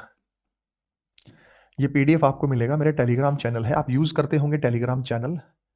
तो टेलीग्राम पे एक चैनल है और टेलीग्राम पे चैनल है अरुण सर रीजनिंग। तो जिसपे तीन लाख से ज़्यादा, तीन ग्यारह बारह हज़ार सब्सक्राइबर हो, वो ओरिजिनल चैनल है, बाकी फर्जी होते हैं। तो ये है original channel Arun sir reasoning Telegram पे। ठीक है बेटा? मेरा, यहाँ पर आप कैरिवल के चैनल पर देख पा रहे हैं, लेकिन मेरा अपना यूट्यूब चैनल भी है, जहाँ और भी आपको मज़ेदार टॉपिक्स या प्रैक्टिस मिल जाएगी, वो है रीजनिंग बाई अरुण कुमार। ये हमारा है तो ये है रीजनिंग बाई अरुण कुमार। यहाँ पे आपको जो है प्रैक्टिस सेशंस वगैरह वो मिल जाएँगे। इसी प्रकार से बेटा इंस्टाग्राम के माध्यम से भी आप संपर्क साध सकते हैं, जुड़ सकते हैं। इंस्टाग्राम पर आप मुझे पाएँगे अरुण सर रीजनिंग के नाम से। तो अरुण सर रीजनिंग ये मेरा इंस्टाग्राम का अकाउंट हैंडल है। आपके पास भी कोई घड़ी से रिलेटेड सवाल हो या कोई टाइप ऐसा हो जो मैंने नहीं कराया हो तो आप मुझे व्हाट्सएप भी करें, क्योंकि अभी पूरा नहीं हुआ बेटा, अभी तो लेक्चर चलेगा। इनकरेक्ट क्लॉक एक अलग चीज़ है। इनकरेक्ट क्लॉक मैं आपको अलग तरीके से, अलग चैप्टर के माध्यम से ही बताऊँगा। त्रुटिपूर्वक घड़ी, ऐसी घड़ी जो एररफुल होती है, जो त्रुटिपूर्वक चलती है। तो ये जो पीडीएफ मैंने जितना बोर्ड पे सॉल्व कराया, आपको वहाँ पे मिल जाएगी। उस टेलीग्राम चैनल पे आप ले सकते हैं, प्राप्ति कर सकते हैं। चैनल को ज्वाइन कर लीजिएगा। उसके बाद बेटा हम बात करते हैं मिरर इमेज मिरर इमेज अभी मैंने इनकरेक्ट क्लॉक नहीं कराया, इसके मैं और भी टाइप्स कराऊँगा आगे। लेकिन अभी मैं नहीं करा रहा हूँ, अभी मैं मिरर इमेज पर आता हूँ। मिरर इमेज क्या होता है कि घड़ी को दर्पण में देखने पर कैसा सा समय दिखाई देगा? दर्पण यानी शीशे में देखने पर कैसा समय दिखाई देगा? और शीशे में देखना बहुत अच्छे से जानते हैं बेटा। शीशा लेफ़्ट और राइट को चेंज करता है। दर्पण क्या करता है? बाया और दाया बदल देता है। दर्पण एक ही काम करता है। दर्पण बाया और दाया बदल देता है। बदलता है। टॉप बॉटम को सेम रखता है। लेफ़्ट राइट को चेंज कर देता है। तो लेफ़्ट और राइट को ये कर देता है चेंज टॉप और बॉटम को रखता है सेम यहाँ पे कुछ लिखा हो। शीशे के सामने तो उल्टा दिखाई देगा लेफ़्ट राइट चेंज हो जाएगा। और अब आप इस बात को बहुत अच्छे से समझ गए होंगे कि अगर भाई साहब घड़ी में तीन बजे हैं, है ना? तो शीशे में नौ बजेगा। लेफ़्ट राइट बदलेगा टॉप बॉटम थोड़ी बदलेगा। दो बजे हैं, दस बजे जैसा, एक बजे हैं, ग्यारह बजे जैसा, चार बजे हैं, आठ बजे जैसा, पाँच बजे हैं, सात बजे जैसा। लेफ़्ट राइट तो चेंज होना ही ना में। हाँ छह बजे का समय छह बजे जैसा दिखाई देगा। जो समय छह बजे का है, वो छह बजे जैसा ही दिखाई देगा, उसमें कोई परिवर्तन नहीं होना। छह बजे वाला टाइम छह बजे जैसा ही दिखाई देगा। बोलिए हाँ या ना में जवाब दीजिए। छह बजे वाला टाइम छह बजे जैसा ही दिखाई देगा। तो लेफ़्ट राइट इसी हिसाब से आप बताएँगे। हाँ या ना में जवाब दीजिएगा। क्लियर है एकदम सब कुछ? तो इसके लिए तो बेटा सीधी सी एक ट्रिक फॉलो होती है। और वो सीधी सी सीधी सी ट्रिक क्या फॉलो होती है? अगर आप 12 बजे में से घड़ी का समय घटा दें तो आपको दर्पण यानी मिरर का समय मिल जाएगा। या आप 12 बजे में से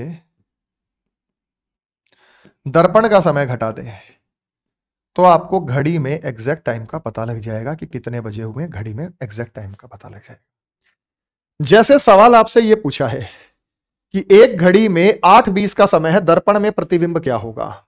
आठ बीस। एक घड़ी में समय है आठ बीस का एक घड़ी में जो समय है वो आठ बीस का है।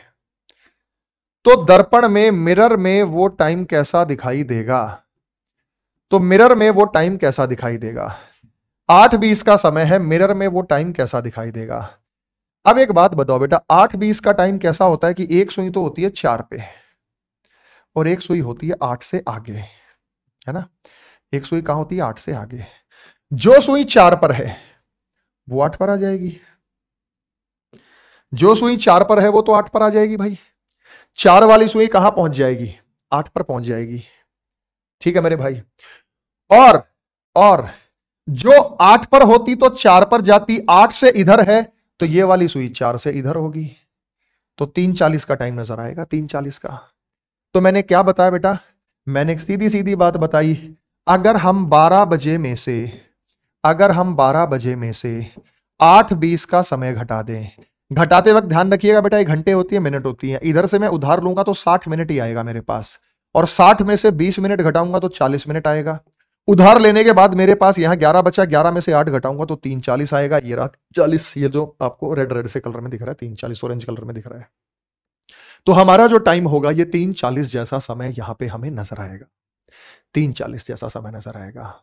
अगर कोई बड़ी वैल्यू आ जाती है, जैसे अभी ये देखो, ये आपके खटाखट सॉल्व होंगे। इसलिए बेटा, कुछ किताबों में इसको ग्यारह साठ लिखा गया है। क्यों? एक घंटा उधर भेज दिया, उधर ग्यारह साठ। इसलिए कुछ किताबों में इसको ग्यारह साठ लिखा है। हमने इधर भेज दिया तो वैल्यू ग्यारह साठ के बराबर है। तो एक घड़ी में आठ बीस का समय, एक घड़ी में सात पंद्रह का समय है। तो हमें क्या करना है बेटा?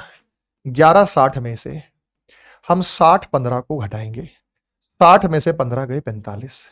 ग्यारह में से छह गए, पाँच तो पाँच पैंतालीस होगा, साठ में से पंद्रह गए, पैंतालीस, और ग्यारह में से छह गए, ग्यारह में से छह गए, वो पाँच होगा तो हम पाँच पैंतालीस का यहाँ पे ज़िक्र करेंगे।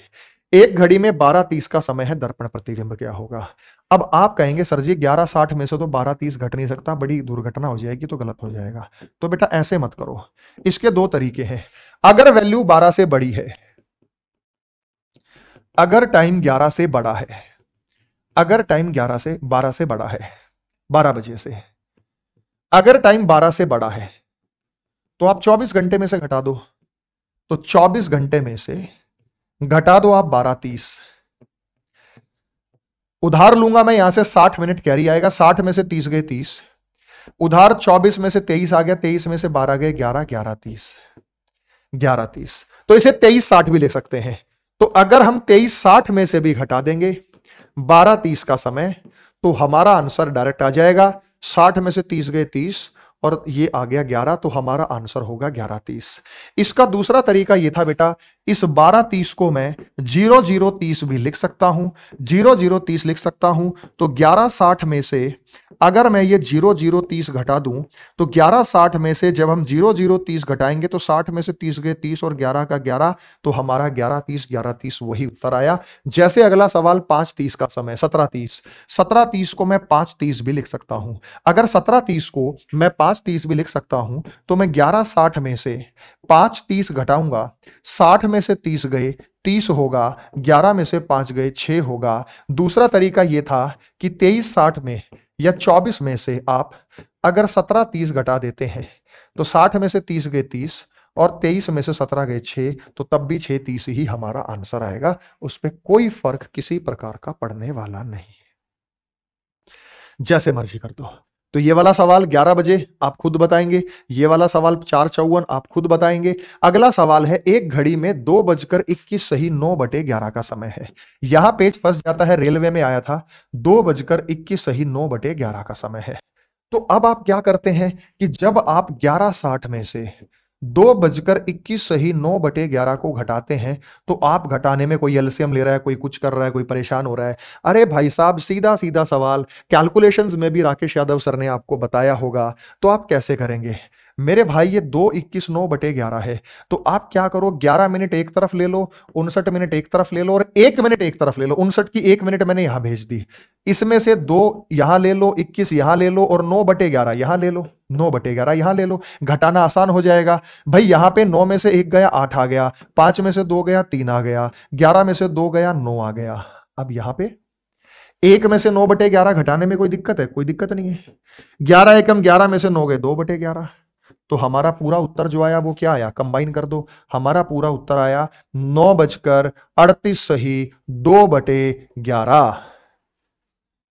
सारा खेल कैलकुलेशन का बेटा। भाई एक बटे में से ये दो बटे ग्यारह आएगा। तो घड़ी में दो इक्कीस, नौ बटे ग्यारह का सब मिरर अच्छा बारह बजे में से क्यों माइनस कर रहे हैं? उसका भी कारण है। घड़ी में आपने ध्यान दिया, नहीं दिया, आमने सामने का टोटल बारह होता है। ग्यारह और एक बारह, दो और दस बारह, नौ और तीन बारह चार और आठ बारह, सात और पाँच बारह। लेफ़्ट और राइट आमने सामने का जो टोटल होता है, वो बारह होता है। तो इस प्रकार से आप इसको यहाँ पे बता सकते हैं। तो मेरे भाई, ये समय आपने समझ में आया बेटा? कैसे किया? दो इक्कीस, नौ बटे ग्यारह, हमें ग्यारह साठ में से घटाना था मतलब बारह बजे में से घटाना था। बारह बजे को मैं ग्यारह साठ लिख सकता हूँ। ग्यारह साठ को मैंने कैसे ब्रेक कर दिया? ग्यारह, उनसठ, एक मिनट इधर ले ली।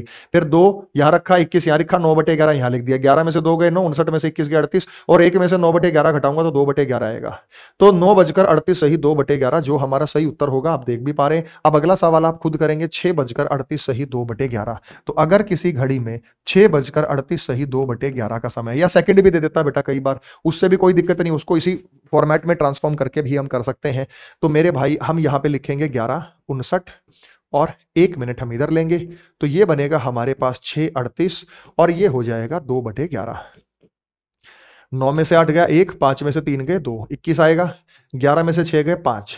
एक में से दो बटे ग्यारह घट सकता है, बड़ी आसानी से घट सकता है। ग्यारह कम ग्यारह ग्यारह में से दो गए नौ तो नौ बटे ग्यारह।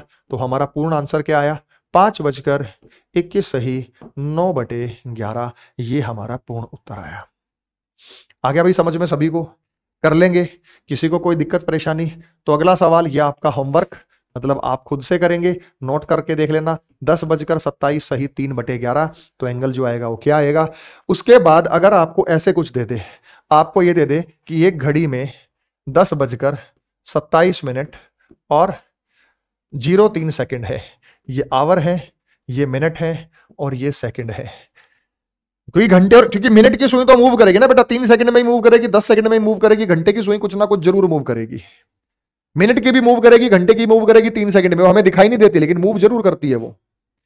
तो इस टाइम को अगर हम शीशे में देखें तो कैसा दिखाई देगा? पहली बात तो बेटा इसको दस सत्ताईस तो में हो गया। इसके हम क्या बना लो बेटा? मिनट बना लो साठ से डिवाइड करके। तीन एकम तीन तीन बीस जा साठ।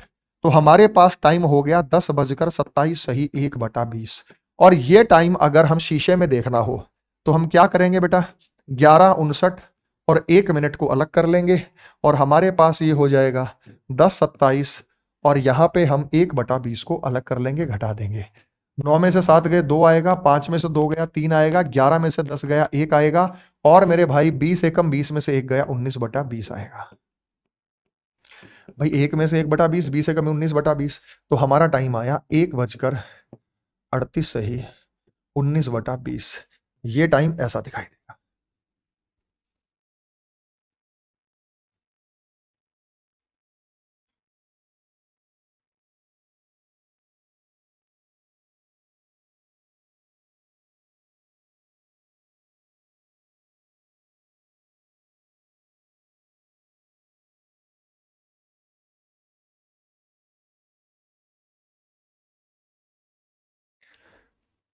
बत्तीस है बेटा, बत्तीस।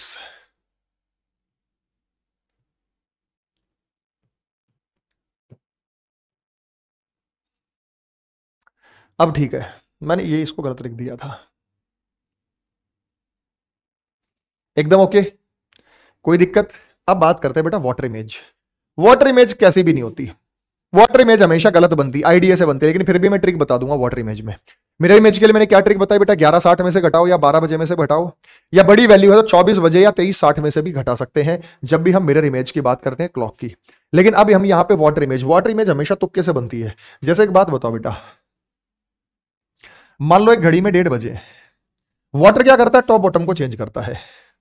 वाटर क्या करता है? टॉप और बॉटम को चेंज कर देता है। पानी में जब भी आप परछाई देखेंगे तो पानी टॉप एंड बॉटम को चेंज कर देगा। पानी ऊपर और नीचे वाले भाग को बदल देता है। टॉप और बॉटम को चेंज कर देता है। पानी लेफ़्ट और राइट को सेम रखता है, उसमें कोई परिवर्तन नहीं करता पानी।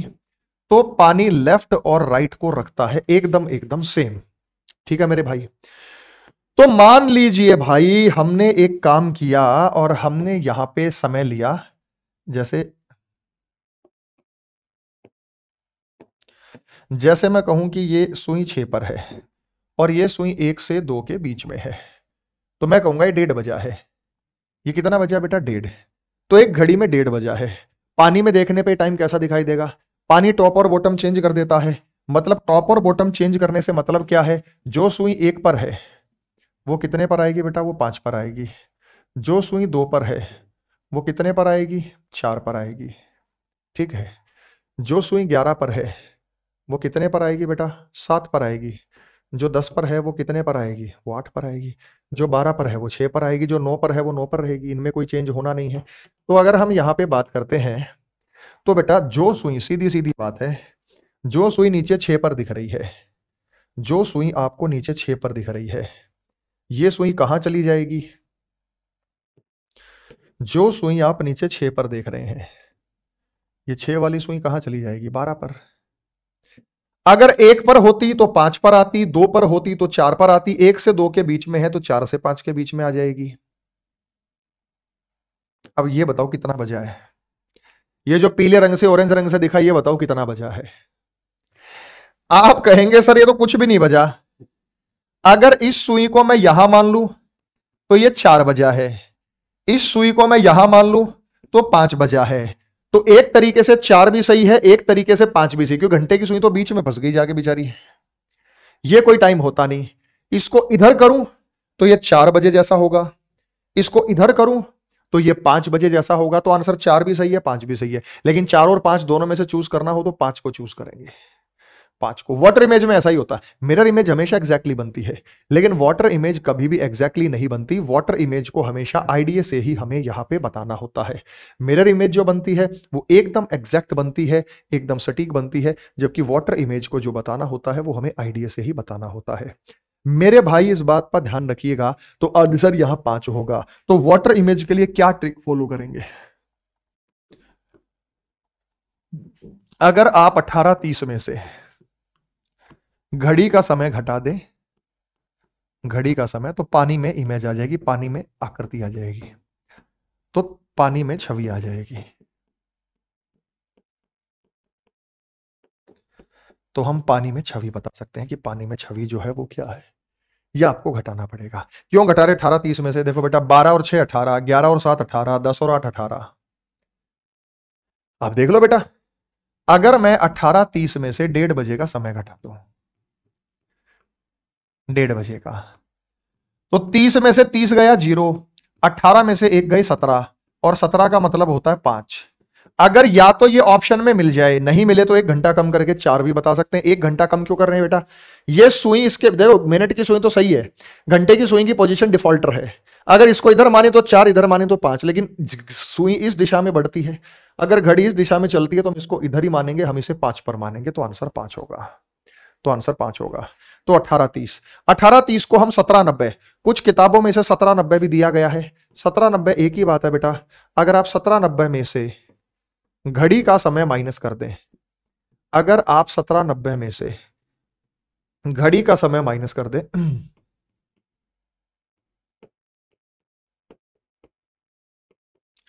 तो आप पानी में छवि प्राप्त कर सकते हैं। सत्रह नब्बे कैसे हुआ भाई? सत्रह नब्बे ऐसे हो गया भाई, यहाँ से मैंने साठ मिनट उधार ले ली। तो साठ और तीस कितना हो गया? नब्बे। और अट्ठारह में से एक गई, सत्रह। तो सत्रह नब्बे लिख देते हैं। सत्रह नब्बे। बात एक ही है। वाटर और मिरर में ज़्यादा इंपॉर्टेंट वाटर है मिरर नहीं है। तो डेढ़ बजे वाला टाइम हमने कर लिया। अभी अभी मैंने आपको बताया। ठीक है? उसके बाद मेरे भाई, एक घड़ी आठ बीस का समय दिखाती पानी में छवि। तो मैंने क्या कहा या तो अठारह तीस। में से आठ बीस घटा दो। या सत्रह नब्बे सत्रह नब्बे का जब हासिल का चक्कर पड़ेगा, तब तीस में से बीस गए, दस, अट्ठारह में से आठ गए, दस दस दस बनेगा। एक घंटा कम भी कर सकते नौ, दस बता सकते हैं। लेकिन हम यहाँ पे दस दस चूज़ करेंगे, जब भी हमें पानी में की छवि में दिखाया गया समय आपको बताना होता है। तो एक घड़ी में पाँच बजे का समय है। पानी की छवि में कैसा दिखाया जाएगा? अब एक घड़ी में पाँच समय का है तो अठारह तीस में से बेटा पाँच घटा दो। अभी किया था ना? अठारह तीस में से पाँच घटा दो। तो अट्ठारह में से पाँच गए तेरह। और तेरह तीस का मतलब डेढ़ बजे। अभी किया तो था डेढ़ बजे जैसा पाँच जैसा दिखाई दे रहा था, पाँच डेढ़ बजे जैसा दिखाई देगा। डेढ़ पाँच बजे जैसा दिखाई दे रहा था और पाँच जो है वो डेढ़ बजे जैसा दिखाई देगा। तो हमारा आंसर आया यहाँ पे वन थर्टी एक घड़ी बारह बजे का समय दिखाती है। तो पानी की छवि में क्या होगा बेटा? बारह बजे का मतलब दोनों सुइयाँ ऊपर है। अब दोनों सुइयाँ नीचे साढ़े छह जैसा दिखाएगी, लेकिन एग्जैक्टली साढ़े छह जैसा होगा नहीं। तो फिर से हमारे पास वही है कि अट्ठारह तीस में से अगर हम बारह बजे का समय घटा देते हैं तो ये तीस आया अट्ठारह में से बारह गए छह तो साढ़े छह बजे जैसा समय हमें यहाँ पे नज़र आएगा। कोई समस्या, दिक्कत, परेशानी? एक घड़ी छह पंद्रह का, या होमवर्क में करेंगे, एक घड़ी दो पचास है, या आप होमवर्क में करेंगे, पानी में दिखाया गया समय है। चार चालीस का है तो पानी की छवि आप कर लेंगे।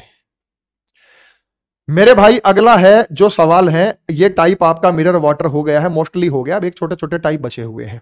जैसे ऐसा कोई टाइप पूछ ले मिसलेनियस टाइप होता है, इसे वर्ड प्रॉब्लम बोला जाता है। वर्ड प्रॉब्लम मतलब संख्याओं से रिलेटेड है। तो ये क्वेश्चन जब आप पढ़ेंगे तो दिखने में आपको बड़ा सा लग रहा लेकिन है बहुत मुश्किल, है बहुत आसान। If the number place at the dial of a watch is replaced by letter in alphabetic series in such way M has come in place of nine and दस N has come in place of eight and so on so on का मतलब इसी तरह ये क्रम जारी रहे। सो on का मतलब होता है इसी तरह। यदि किसी घड़ी के डायल पर रखे गए नंबरों को वर्णानुक्रम में, अक्षरों में इस तरह बदल दिया जाए कि नौ के स्थान पर एम और आठ और यही क्रम जारी रहे। यही क्रम जारी रहे। तो 11 और 10 के स्थान पर आने वाले अक्षर बताओ यानी 11 पर क्या आएगा और 10 पर क्या आएगा? अब जब यहाँ पे मैं आपको घड़ी है और एक घड़ी के माध्यम से मैं आपको यहाँ पे एक सूचित करके दिखाता हूँ इन चीज़ों को भाई घड़ी में हम सीधे सीधी बात जानते हैं कि 12 यहाँ पे ती, छः तीन और नौ। तो हमने यहाँ लिया बारह यहाँ पे हमने लिया छः यहाँ पे हमने लिया यहाँ बारह लिया है।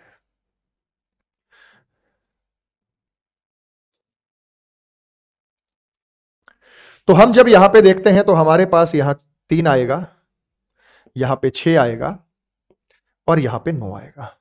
ये एक हो गया, ये दो हो गया, ये तीन हो गया, आगे चार आएगा, आगे पाँच आएगा, आगे सात आएगा, आगे आठ आएगा, यहाँ दस और ग्यारह।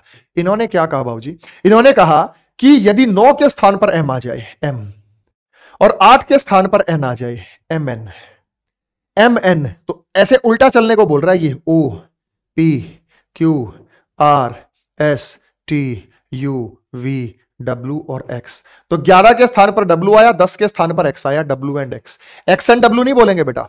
जो पहले पूछा गया उसके बारे में बताएँगे, जो बाद में पूछा गया उसके बारे में। कितना सिंपल था? कोनो किसी मुश्किल की बात वाली बात नहीं थी। एक घड़ी, अगला सवाल।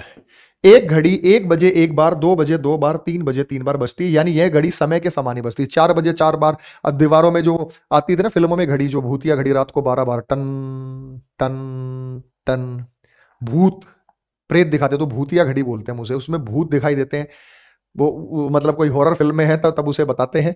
तो यह घड़ी एक घंटे में एक बजे एक बार, दो बजे दो बार, तीन बजे तीन बार बजती है तो चौबीस घंटे में कितनी बार बजेगी? तो आप लोग पता है क्या सोच रहे हो? एक घंटे में एक बार, दो घंटे में दो बार, तीन घंटे में तीन बार, चार घंटे में चार बार, पाँच घंटे में पाँच बार, छह घंटे में छह बार, सात में सात बार, आठ में, फिर नौ बार, फिर दस बार, फिर ग्यारह बार, फिर बारह बार। है ना? फिर तेरह बार। अरे, तेरह बजे का तो कोई टाइम ही नहीं होता। बारह बार स्ट्राइक करने के बाद वापस एक बार बचेगी फिर वापस दो बार बजेगी, फिर वापस तीन बार, फिर वापस चार बार, फिर वापस पाँच बार, फिर वापस छह बार, फिर वापस सात बार, फिर वापस आठ बार, फिर वापस नौ बार, फिर दस बार, फिर बजेगी ग्यारह बार और फिर बजेगी बारह बार। इसका टोटल करेंगे, एक सौ छप्पन आएगा। बारह गुना तेरह कर सकते थे आप। भाई बारह गुना तेरह क्यों कर रहा हूँ मैं? टोटल देखो तेरह, बारह और एक तेरह, ग्यारह दो तेरह, दस और तीन तेरह, नौ चार तेरह, आठ पाँच तेरह, सात छह तेरह, छह सात तेरह, पाँच आठ तेरह, चार नौ तेरह, दस तीन तेरह तो तेरह है तो एक सौ छप्पन बार हो जाएगा।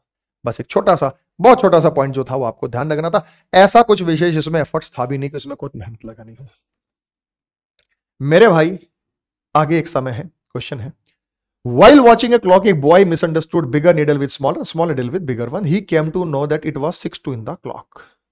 Six in the clock. छह बज रहे हैं ये एक घड़ी देखते समय एक लड़के ने बड़ी सुई को छोटी छोटी के साथ बड़ी सुई को गलत समझा उसे पता चला कि घड़ी में छह बज रहे हैं तो सही समय क्या था भाई देखो, बड़ी को छोटी समझ लिया, छोटी को बड़ी समझ लिया, घड़ी में बज रहे हैं छह।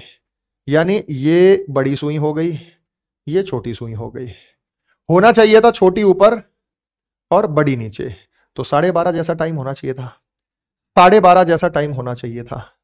कैसा टाइम होना चाहिए था बेटा? साढ़े बारह जैसा टाइम जो है वो होना चाहिए था। अगर यहाँ पे छह दो लिखता तो और एग्जैक्टली बन जाता कि छह बजकर दो मिनट का समय है। छह बजकर दो। छह दो कुछ ऐसा होता है कि थोड़ा सा तिरछा होगा हल्का सा तिरछा होगा और ये है बेटा छह बड़ी। अब बड़ी थोड़ी सी इधर हो जाएगी, बड़ी थोड़ी सी क्या है बेटा, इधर आ जाएगी, ये इधर चली जाएगी। भाई अब क्या होगा, अब छोटी वाली इधर चली जाएगी और बड़ी वाली जो है वो यहाँ आ जाएगी।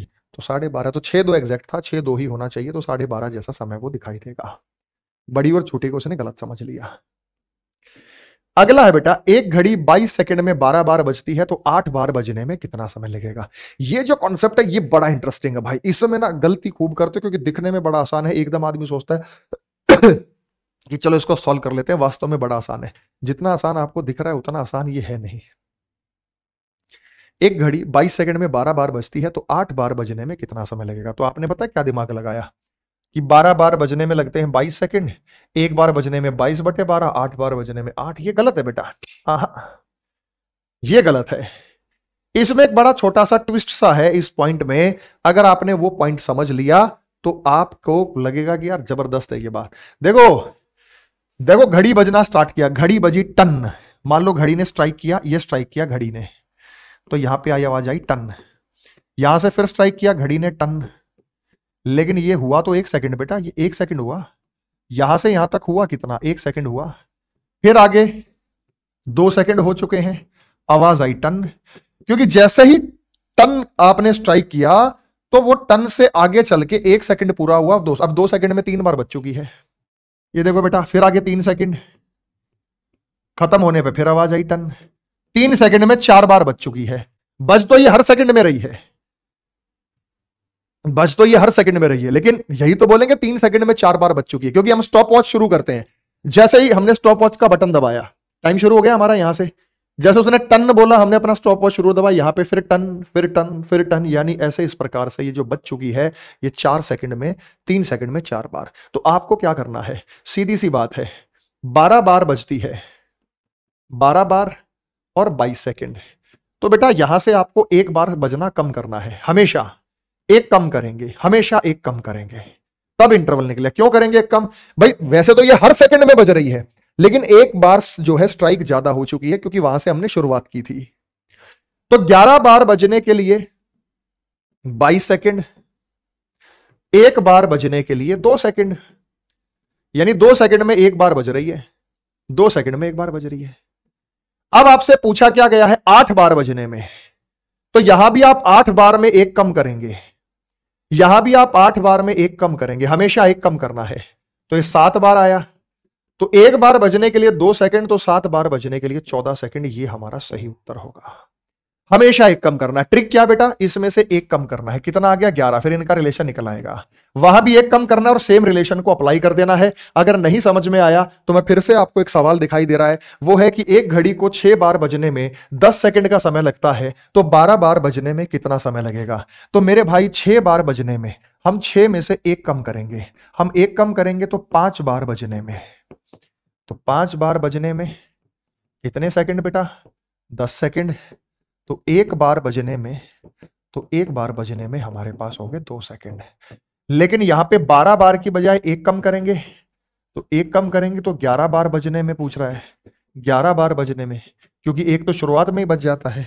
तो मेरे भाई, हम कहेंगे कि ग्यारह बार बजने में जो समय लगेगा तो एक के लिए दो सेकंड, ग्यारह के लिए समय लगेगा बाईस